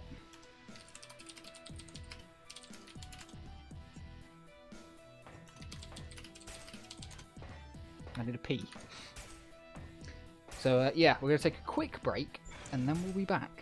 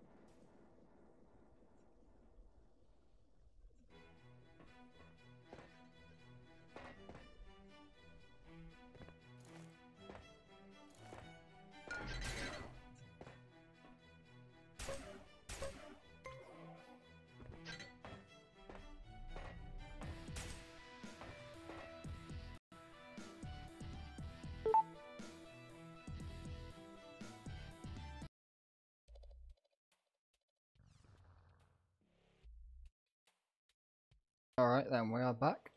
And let's go over to this scene. So, yeah. I've been to the toilet, now Dodger's heading off to the loot. Am I getting ready to get into this? I'm going to try not to spill a load of water down me.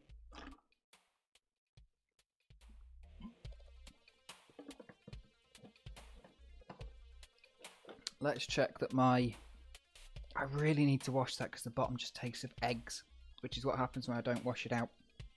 It's worse when I don't use it, but it has probably been about a week. Anyway. That's going to record perfectly fine. Let's just check that it's actually got the right settings. I don't know if I can change it without stopping the stream. Uh, output? Yes. Okay, same as stream.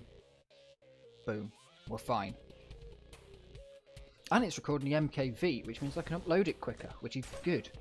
Because it means I can upload it quicker. Basically, that's about it.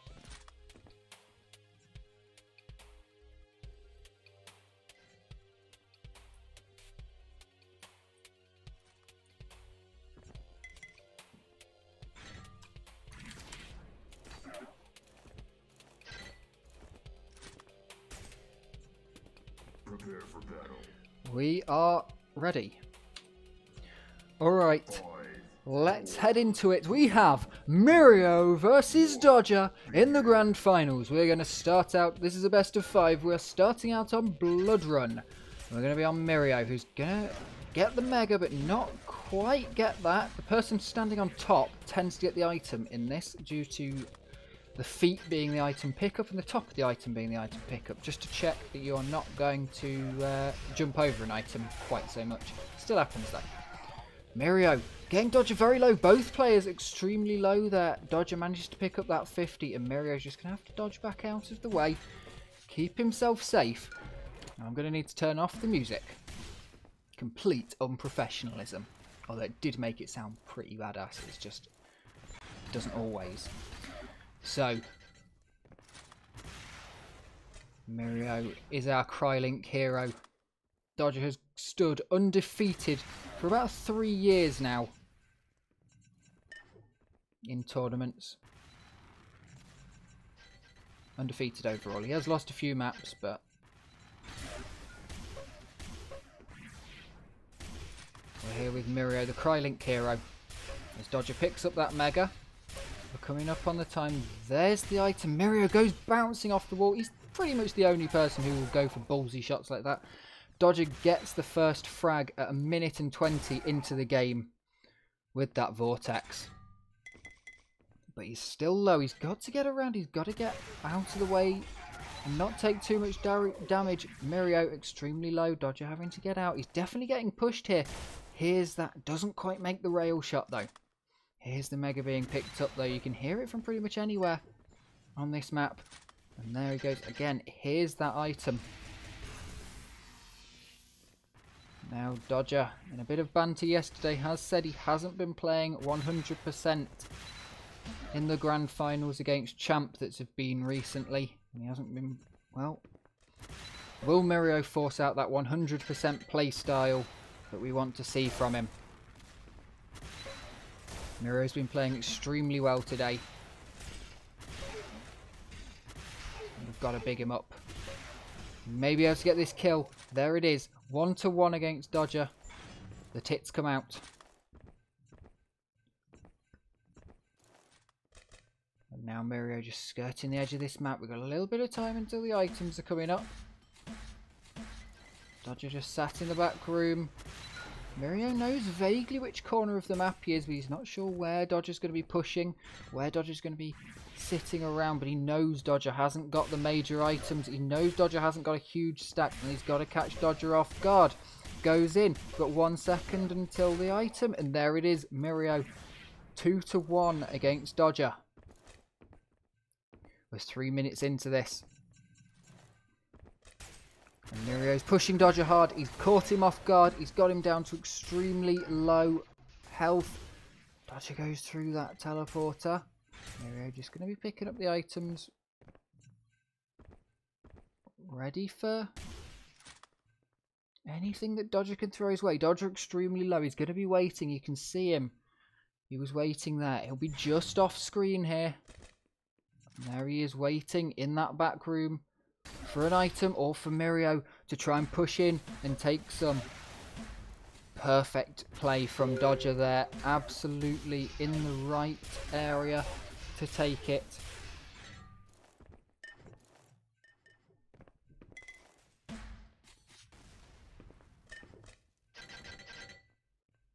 Dodger's only just over the top. He's waiting for that armor to come up, but he hasn't got any armor of his own. He's going to push into Mirio. Mirio sees it. Mirio goes 3 to 1 up on Blood Run against Dodger. Now, if I remember right, this was Mirio's pick.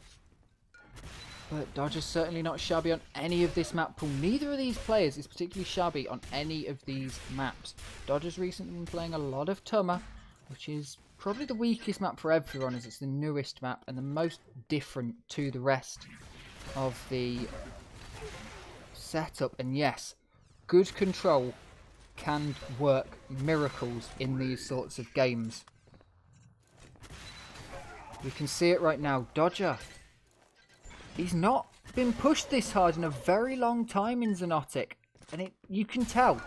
You can uh, you can see in the way he's playing. You can see in the fact that he's not managing to get any items. He's not managed to get control for the entire game, and he's on the back foot. Five minutes remain. Mirio does play with the arrow keys. He plays with a mouse and the arrow keys, though. He only does the movement But Dodger has managed to find himself a kill. He's managed to find a bit of position. And he's launching a comeback from here. Look at the speed that Dodger plays at. So we saw Mirio playing a little bit slower. And he was playing very controlled. Dodger, once he's got the control, this is why he's so good. We saw it took five minutes for Mirio to mount five frags onto Dodger. And it took Dodger about 50 seconds to mount five frags back onto Mirio once regaining control. He is just so quick. It's not quite over yet though. Mirio is a very good player and we're of course only up to even right now.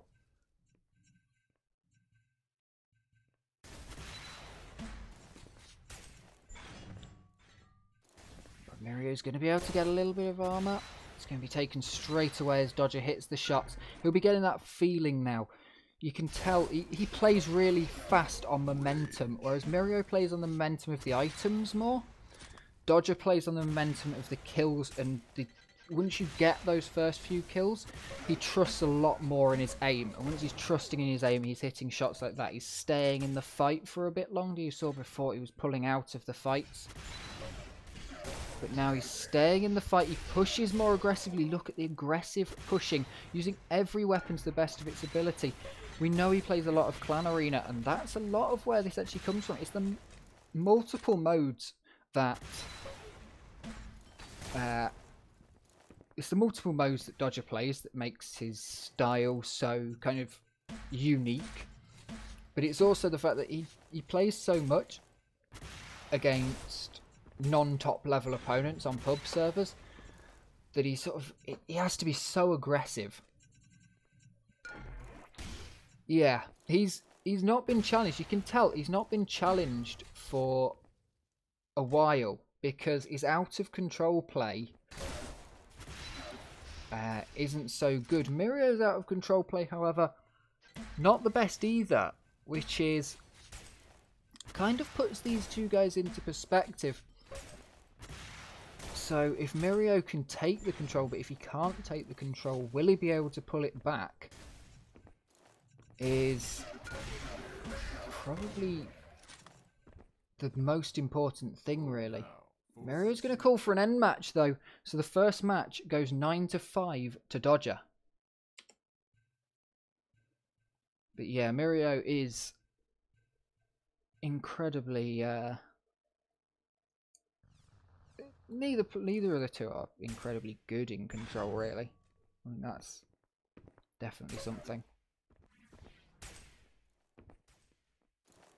Prepare for battle. Alright then. Here we are, the second game of the cup. We've got Mirio versus Dodger. Dodger has taken the first map on Blood Run. This is the best of five. I'm going to start off on Mirio again. This is Tanuki's map, who's in that uh, in that chat saying it's the worst map in the pool. We're on to Graphite. A map I haven't seen these two play before against each other. Dodger likes it, speaks highly of this map and the way it plays, which probably says something about the style of play that it's going to happen.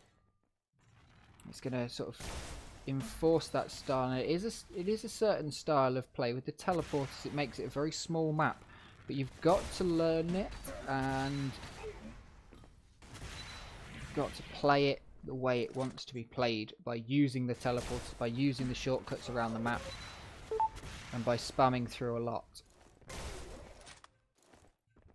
Yeah, that was uh, Tanuki saying it's the worst map. The map maker.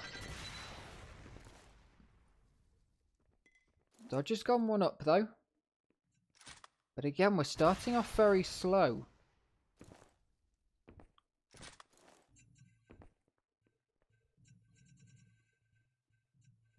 Starting off with extremely slow play because Dodger's managing to pull this one by walking around that corner. You don't see walking very often in Xonotic. That's the level of play we're at right now. And this, but then you just see incredible speed. It's something you really don't get in any other genre of game. Incredibly slow to incredibly fast movement speed. You get sort of in CS with nothing, nothing, nothing, nothing. Everything happens in 10 seconds with the headshots. But in Xonotic, one minute he's walking around the corner, then he makes a kill, then he's moving at a thousand meters a second across the map.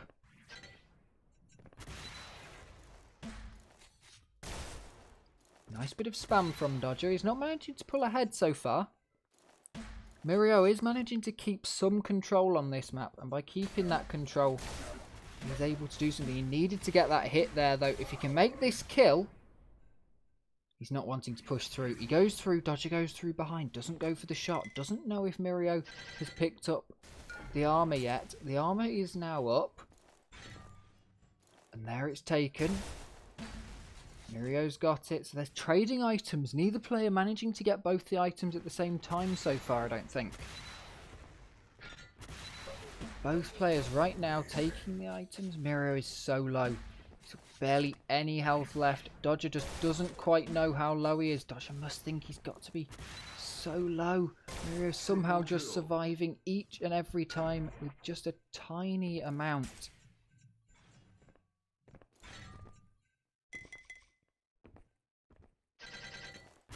And these guys using every inch of the map. Dodgers managed to stack up on smaller armors though, whereas Mirio's managed to get around and pick up that mega uh, mega 100 armor.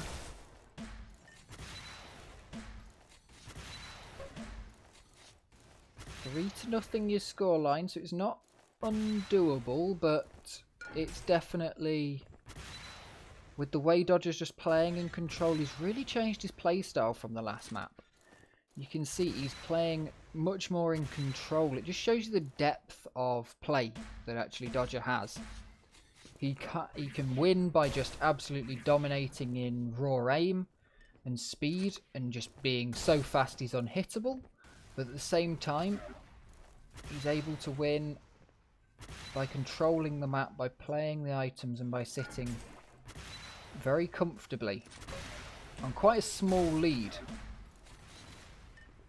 I think he's probably happy with that lead, knowing how slow Mirio was picking up the frags before, how Mirio wasn't pushing so deeply into him on Blood Run. He's thinking just a little bit.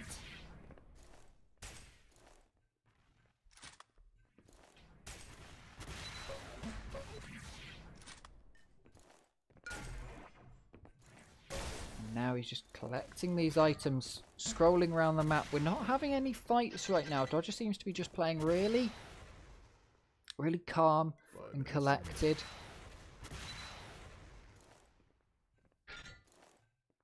And Mirio is playing the same way. He knows he's still got the time, you see. Up to five minutes.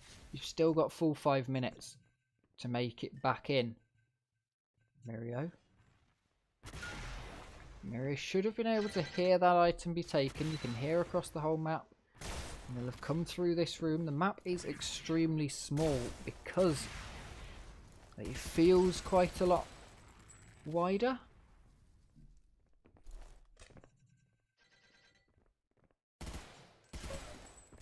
But it's certainly quite small when you pop straight through the middle of it. And there's some machine gun use. For those of you talking about machine gun use earlier, there's some good machine gun use from Dodger. Using it as a finishing weapon. Up close and personal. Not going to be doing any self-damage. Now Dodger looks to be making some more frags. He's still falling back. He's still not making it absolutely right out in front. He's gone for that 25. Mirio's pushed him to quite low health here. But Mirio was right up against it with health himself. And Dodger wants to take some more frags. Wants to secure this lead so far. But not doing it at the expense of being shot. Back and forth through this teleporter. Just taking one more pot shot at Mirio. And Mirio falls into his hands. But there we go. Mirio has an item. They're back to trading the items. Mirio hasn't managed to play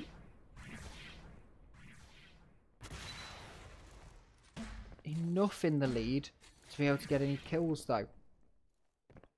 Just unable to do damage output. Let's have a look at the damage output. So Mirio has dealt 1.4k to Dodger's 2.1k. So they're really quite close in uh, in terms of damage outside of these kills. If you take those kills, each is 100 damage. Whereas sometimes you'll see very close games. There we are. Mirio going to forfeit on that one. And we're moving over to Hub, which has got to be Dodger's pick. Uh, will see if I can get an interview.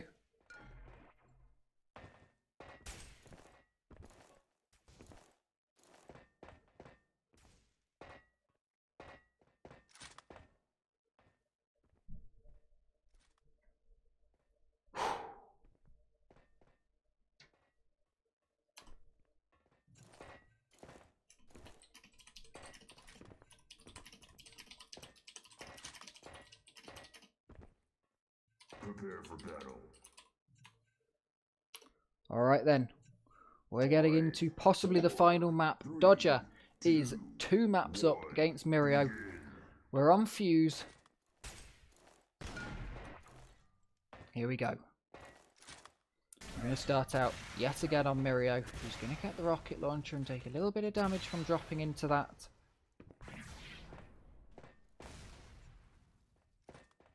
And now chase down Dodger. Going to try and get the early control. We saw in the first game on Blood Run, he was able to get the early control. He was able to take a bit more off of Dodger and start up to the five minute mark. Sort of taking the game, looking like he was actually going to be able to win it. And then we got past that five minute mark. Dodger got in and managed to do all the damage. And then Dodger just didn't let him have the beginning on the second map.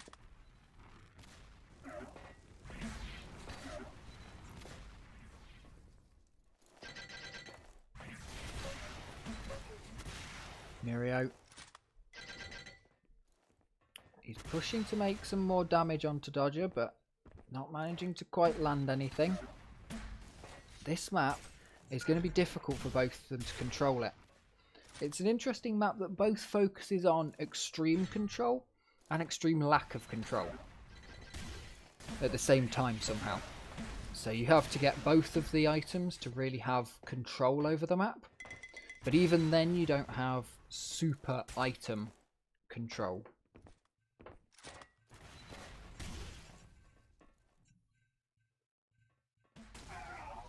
Dodger does a good amount of damage, gets the first frag, and that could be it for Mirio if Dodger can get rolling right now, like he was able to in the last one. There's the second.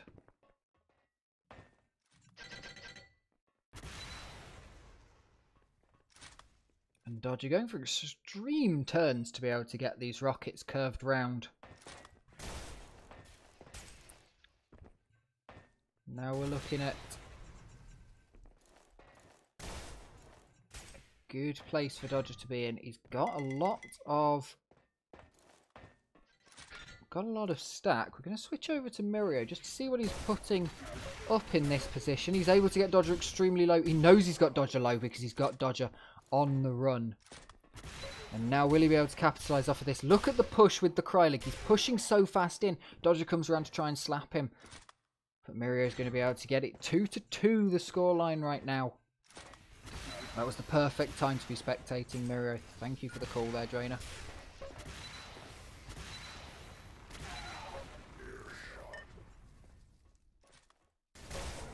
Beautiful flick there. And the triple kill onto Dodger. Dodger's going to finish with the shotgun though. Mirio was ext left extremely low after that last fight, but they're still even. Mirio's got a bit of a stack up over on the other side of the map as Dodger pulls his stack in. Both of them dying and Mirio managing to... Uh, Dodger managing to get the kill with the shotgun. Put them both on the same footing realistically after that. Dodger seems to have timing on the items though on both ends of the map. So that puts him into an extremely profitable position. Being able to always know uh, if Mirio has actually got the item. So if Mirio respawns, he's going to automatically know the item's up. So Mirio could have got the item. I've got to play as if Mirio has 50 armor. Or the item's not up. I can play as if Mirio doesn't have the armor. He's definitely not got the armor. Now Dodger's missed that one. He doesn't have the item timing exact. He's just got it kind of roughly. I assume Mirio's going to be bombing down there. He does a good amount of damage. Dodger's still ducking out the way of that. Uh... Here's it. Here's the item be taken. He's like, what? You could see it in the flick back. He heard the item. It's like Mirio's still there, but also what? The item? Mirio has got that Mega. yeah, these are good games. Mario is definitely pushing Dodger. On Graphite, not so much. But still definitely forced Dodger to play a much better uh, a much better style. Forced him to take full control of the map rather than just running it round. Now Mirio could get the kill here. Dodger extremely low. If he hadn't have picked up that armor, he would have almost certainly gone down right there. We've got five minutes left. So this could all be flipped on its head. Mirio's going to be pushing in. He's got the stack to take Dodger out. Nine health Dodger has. Misses that bubble. Grabs that one and he's got the regenerating health. Mirio now knows where he is. He's able to pick up the item. Dodger misses the rail. This is where we are now. Dodger clearly a bit pressured. 15 seconds until any of the armors come up. You can see Dodger now a bit pressured. Mirio probably be able to see him when he jumped over there. Wouldn't have wanted to go in for the fight just yet. He's just trying to stack it up. Now the item's up and Dodger's going to try and get... He doesn't land any shots. He tries to get the jump on Mirio and do a load of damage, but he doesn't quite connect any. Gets a little bit of exit just there with the rail. And he's going to turn away just the second Mirio pops around the corner. He sees Mirio there, running away now. He's trying to just get away. He doesn't want to take a direct fight with Mirio. He has lost a couple of direct fights with Mirio recently. He's trying to get Mirio down below the amount and Mirio has managed to pick up a frag. Mirio's playing this much faster than he was before. The other two maps, his mistake seems to have been not playing fast enough. When he was in control on Blood Run, he just wasn't able to get the score. He was in control for five minutes and could only, and it only took 50 seconds for Dodger to bring the control back. Well, after getting control to bring the score back. So Dodger playing incredibly fast, but Mirio managing to play very fast too. It's definitely going a good way, this map. It's pushing for Dodger to play better, which is something we definitely want. With more players right now, we're loosening the skill gap. We're getting more people back into the game. We're getting more new people into the game. So it's definitely getting better. So you too can come and challenge Dodger. Might take you a while, but you two can come and do it. Dodger. Smacking up Mirio. Gets the rage. Five kills in a row. And Mirio votes to end the match. That's it, ladies and gentlemen, and those who know better. We have Dodger versus Mirio. Dodger going to take the grand finals. Thank you for watching. All right. Uh,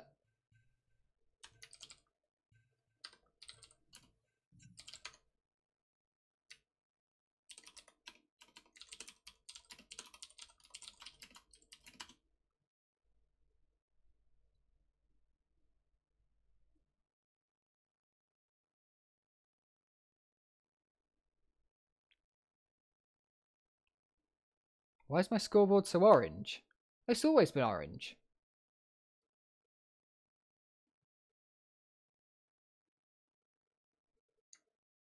My scoreboard's literally always been orange the entire...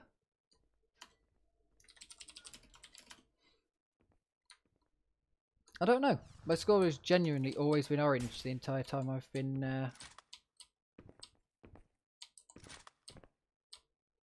playing the game. Like, I, I think. Maybe not, but I think so.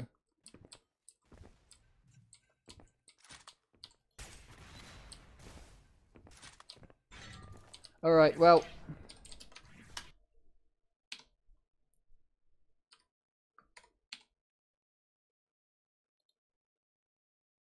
Media, media. Play.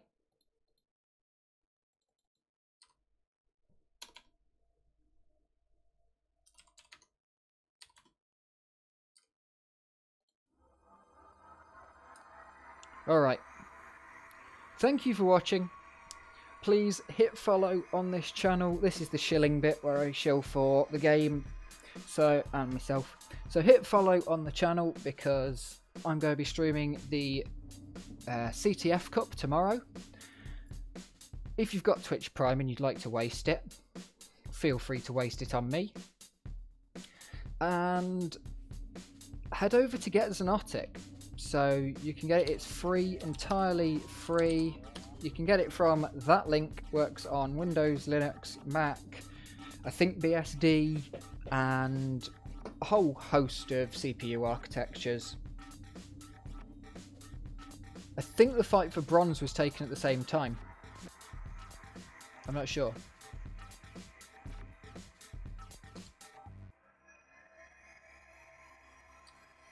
PowerPC compatible, yes. Um, so the other things you need to do, I guess, yeah, follow me because that's nice. I like seeing that number go up. And play this game because there's a lot more people playing right now. We are bringing this definitely back up to the forefront of the sort of community arena FPS games because you've obviously got your Quakes, your Unreals that are going to be at the top, but the community driven arena FPS games we're pushing Xonotic right back up to the top of that list. Join the Discord, join the IRC, and yeah. Thank you all for watching.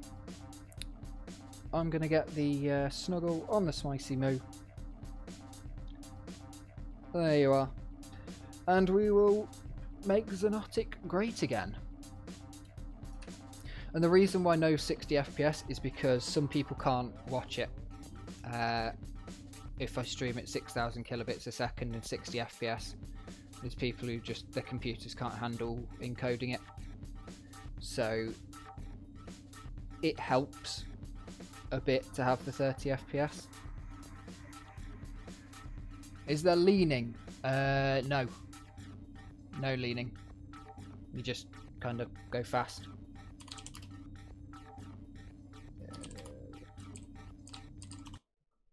Let's play a map that wasn't in this tournament. You could lean to dodge rockets. When?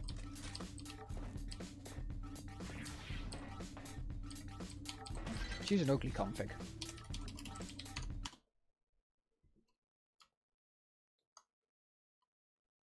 This is how bad you can make the game look. This is what I see when I play. So if you want to make the game look awful,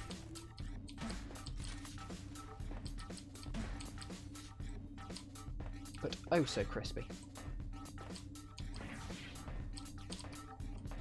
Yeah, no leaning, just sort of left and right and left and right and left and right.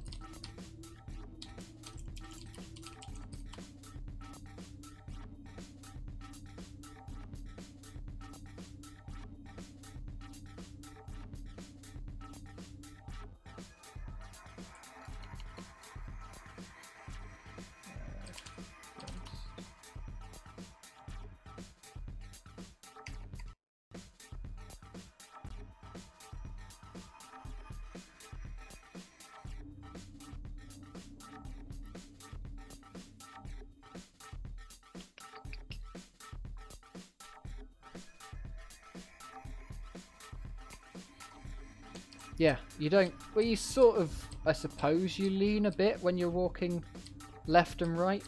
So you can actually play this game fully in third person if you want to. You can genuinely, like, actually uh, play Xonotic in third person if you perfectly wish.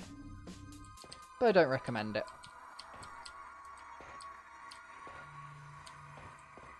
It's a first person shooter. But it looks cool, so. It's also nice to be able to see the model. So yeah, you kind of lean as you're walking, but no, you can't. Um, you can't do like uh, what's it? Uh, what is it? Rainbow Six leans or anything like that. There's no Rainbow Six leans.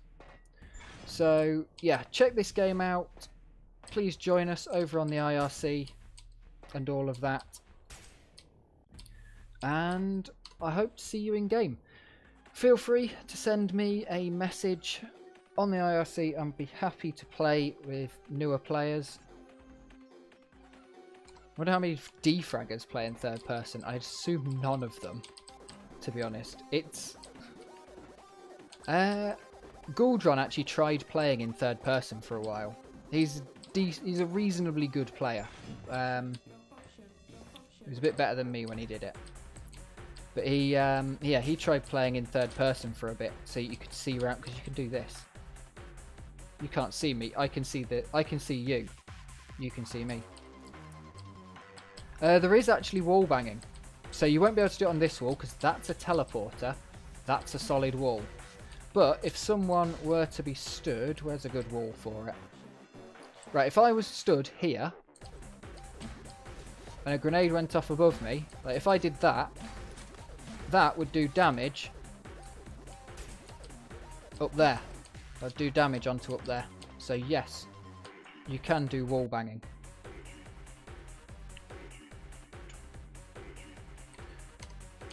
So it's definitely a thing to be able to do wall banging in this game. Uh, you could wall bang through that wall, I suppose. There's an amazing wall bang on this map. Um, if you head over to here, so that teleporter, you can actually get the wall bang on that. But they have to be this side of the teleporter. They can't be this side because otherwise they're halfway across the map. But yeah, you can get the wall bang on that. You can wall bang... Um, if someone goes up here, that's only a little bit... About that is your right amount for wall banging, but you can get through that. Uh, it also means if you were to hit this wall, you'd actually do splash damage through it rather than um, splash damage around it.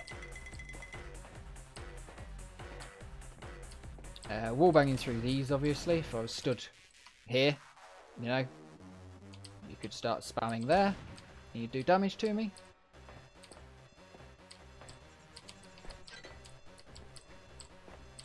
So yeah, thank you everybody for watching.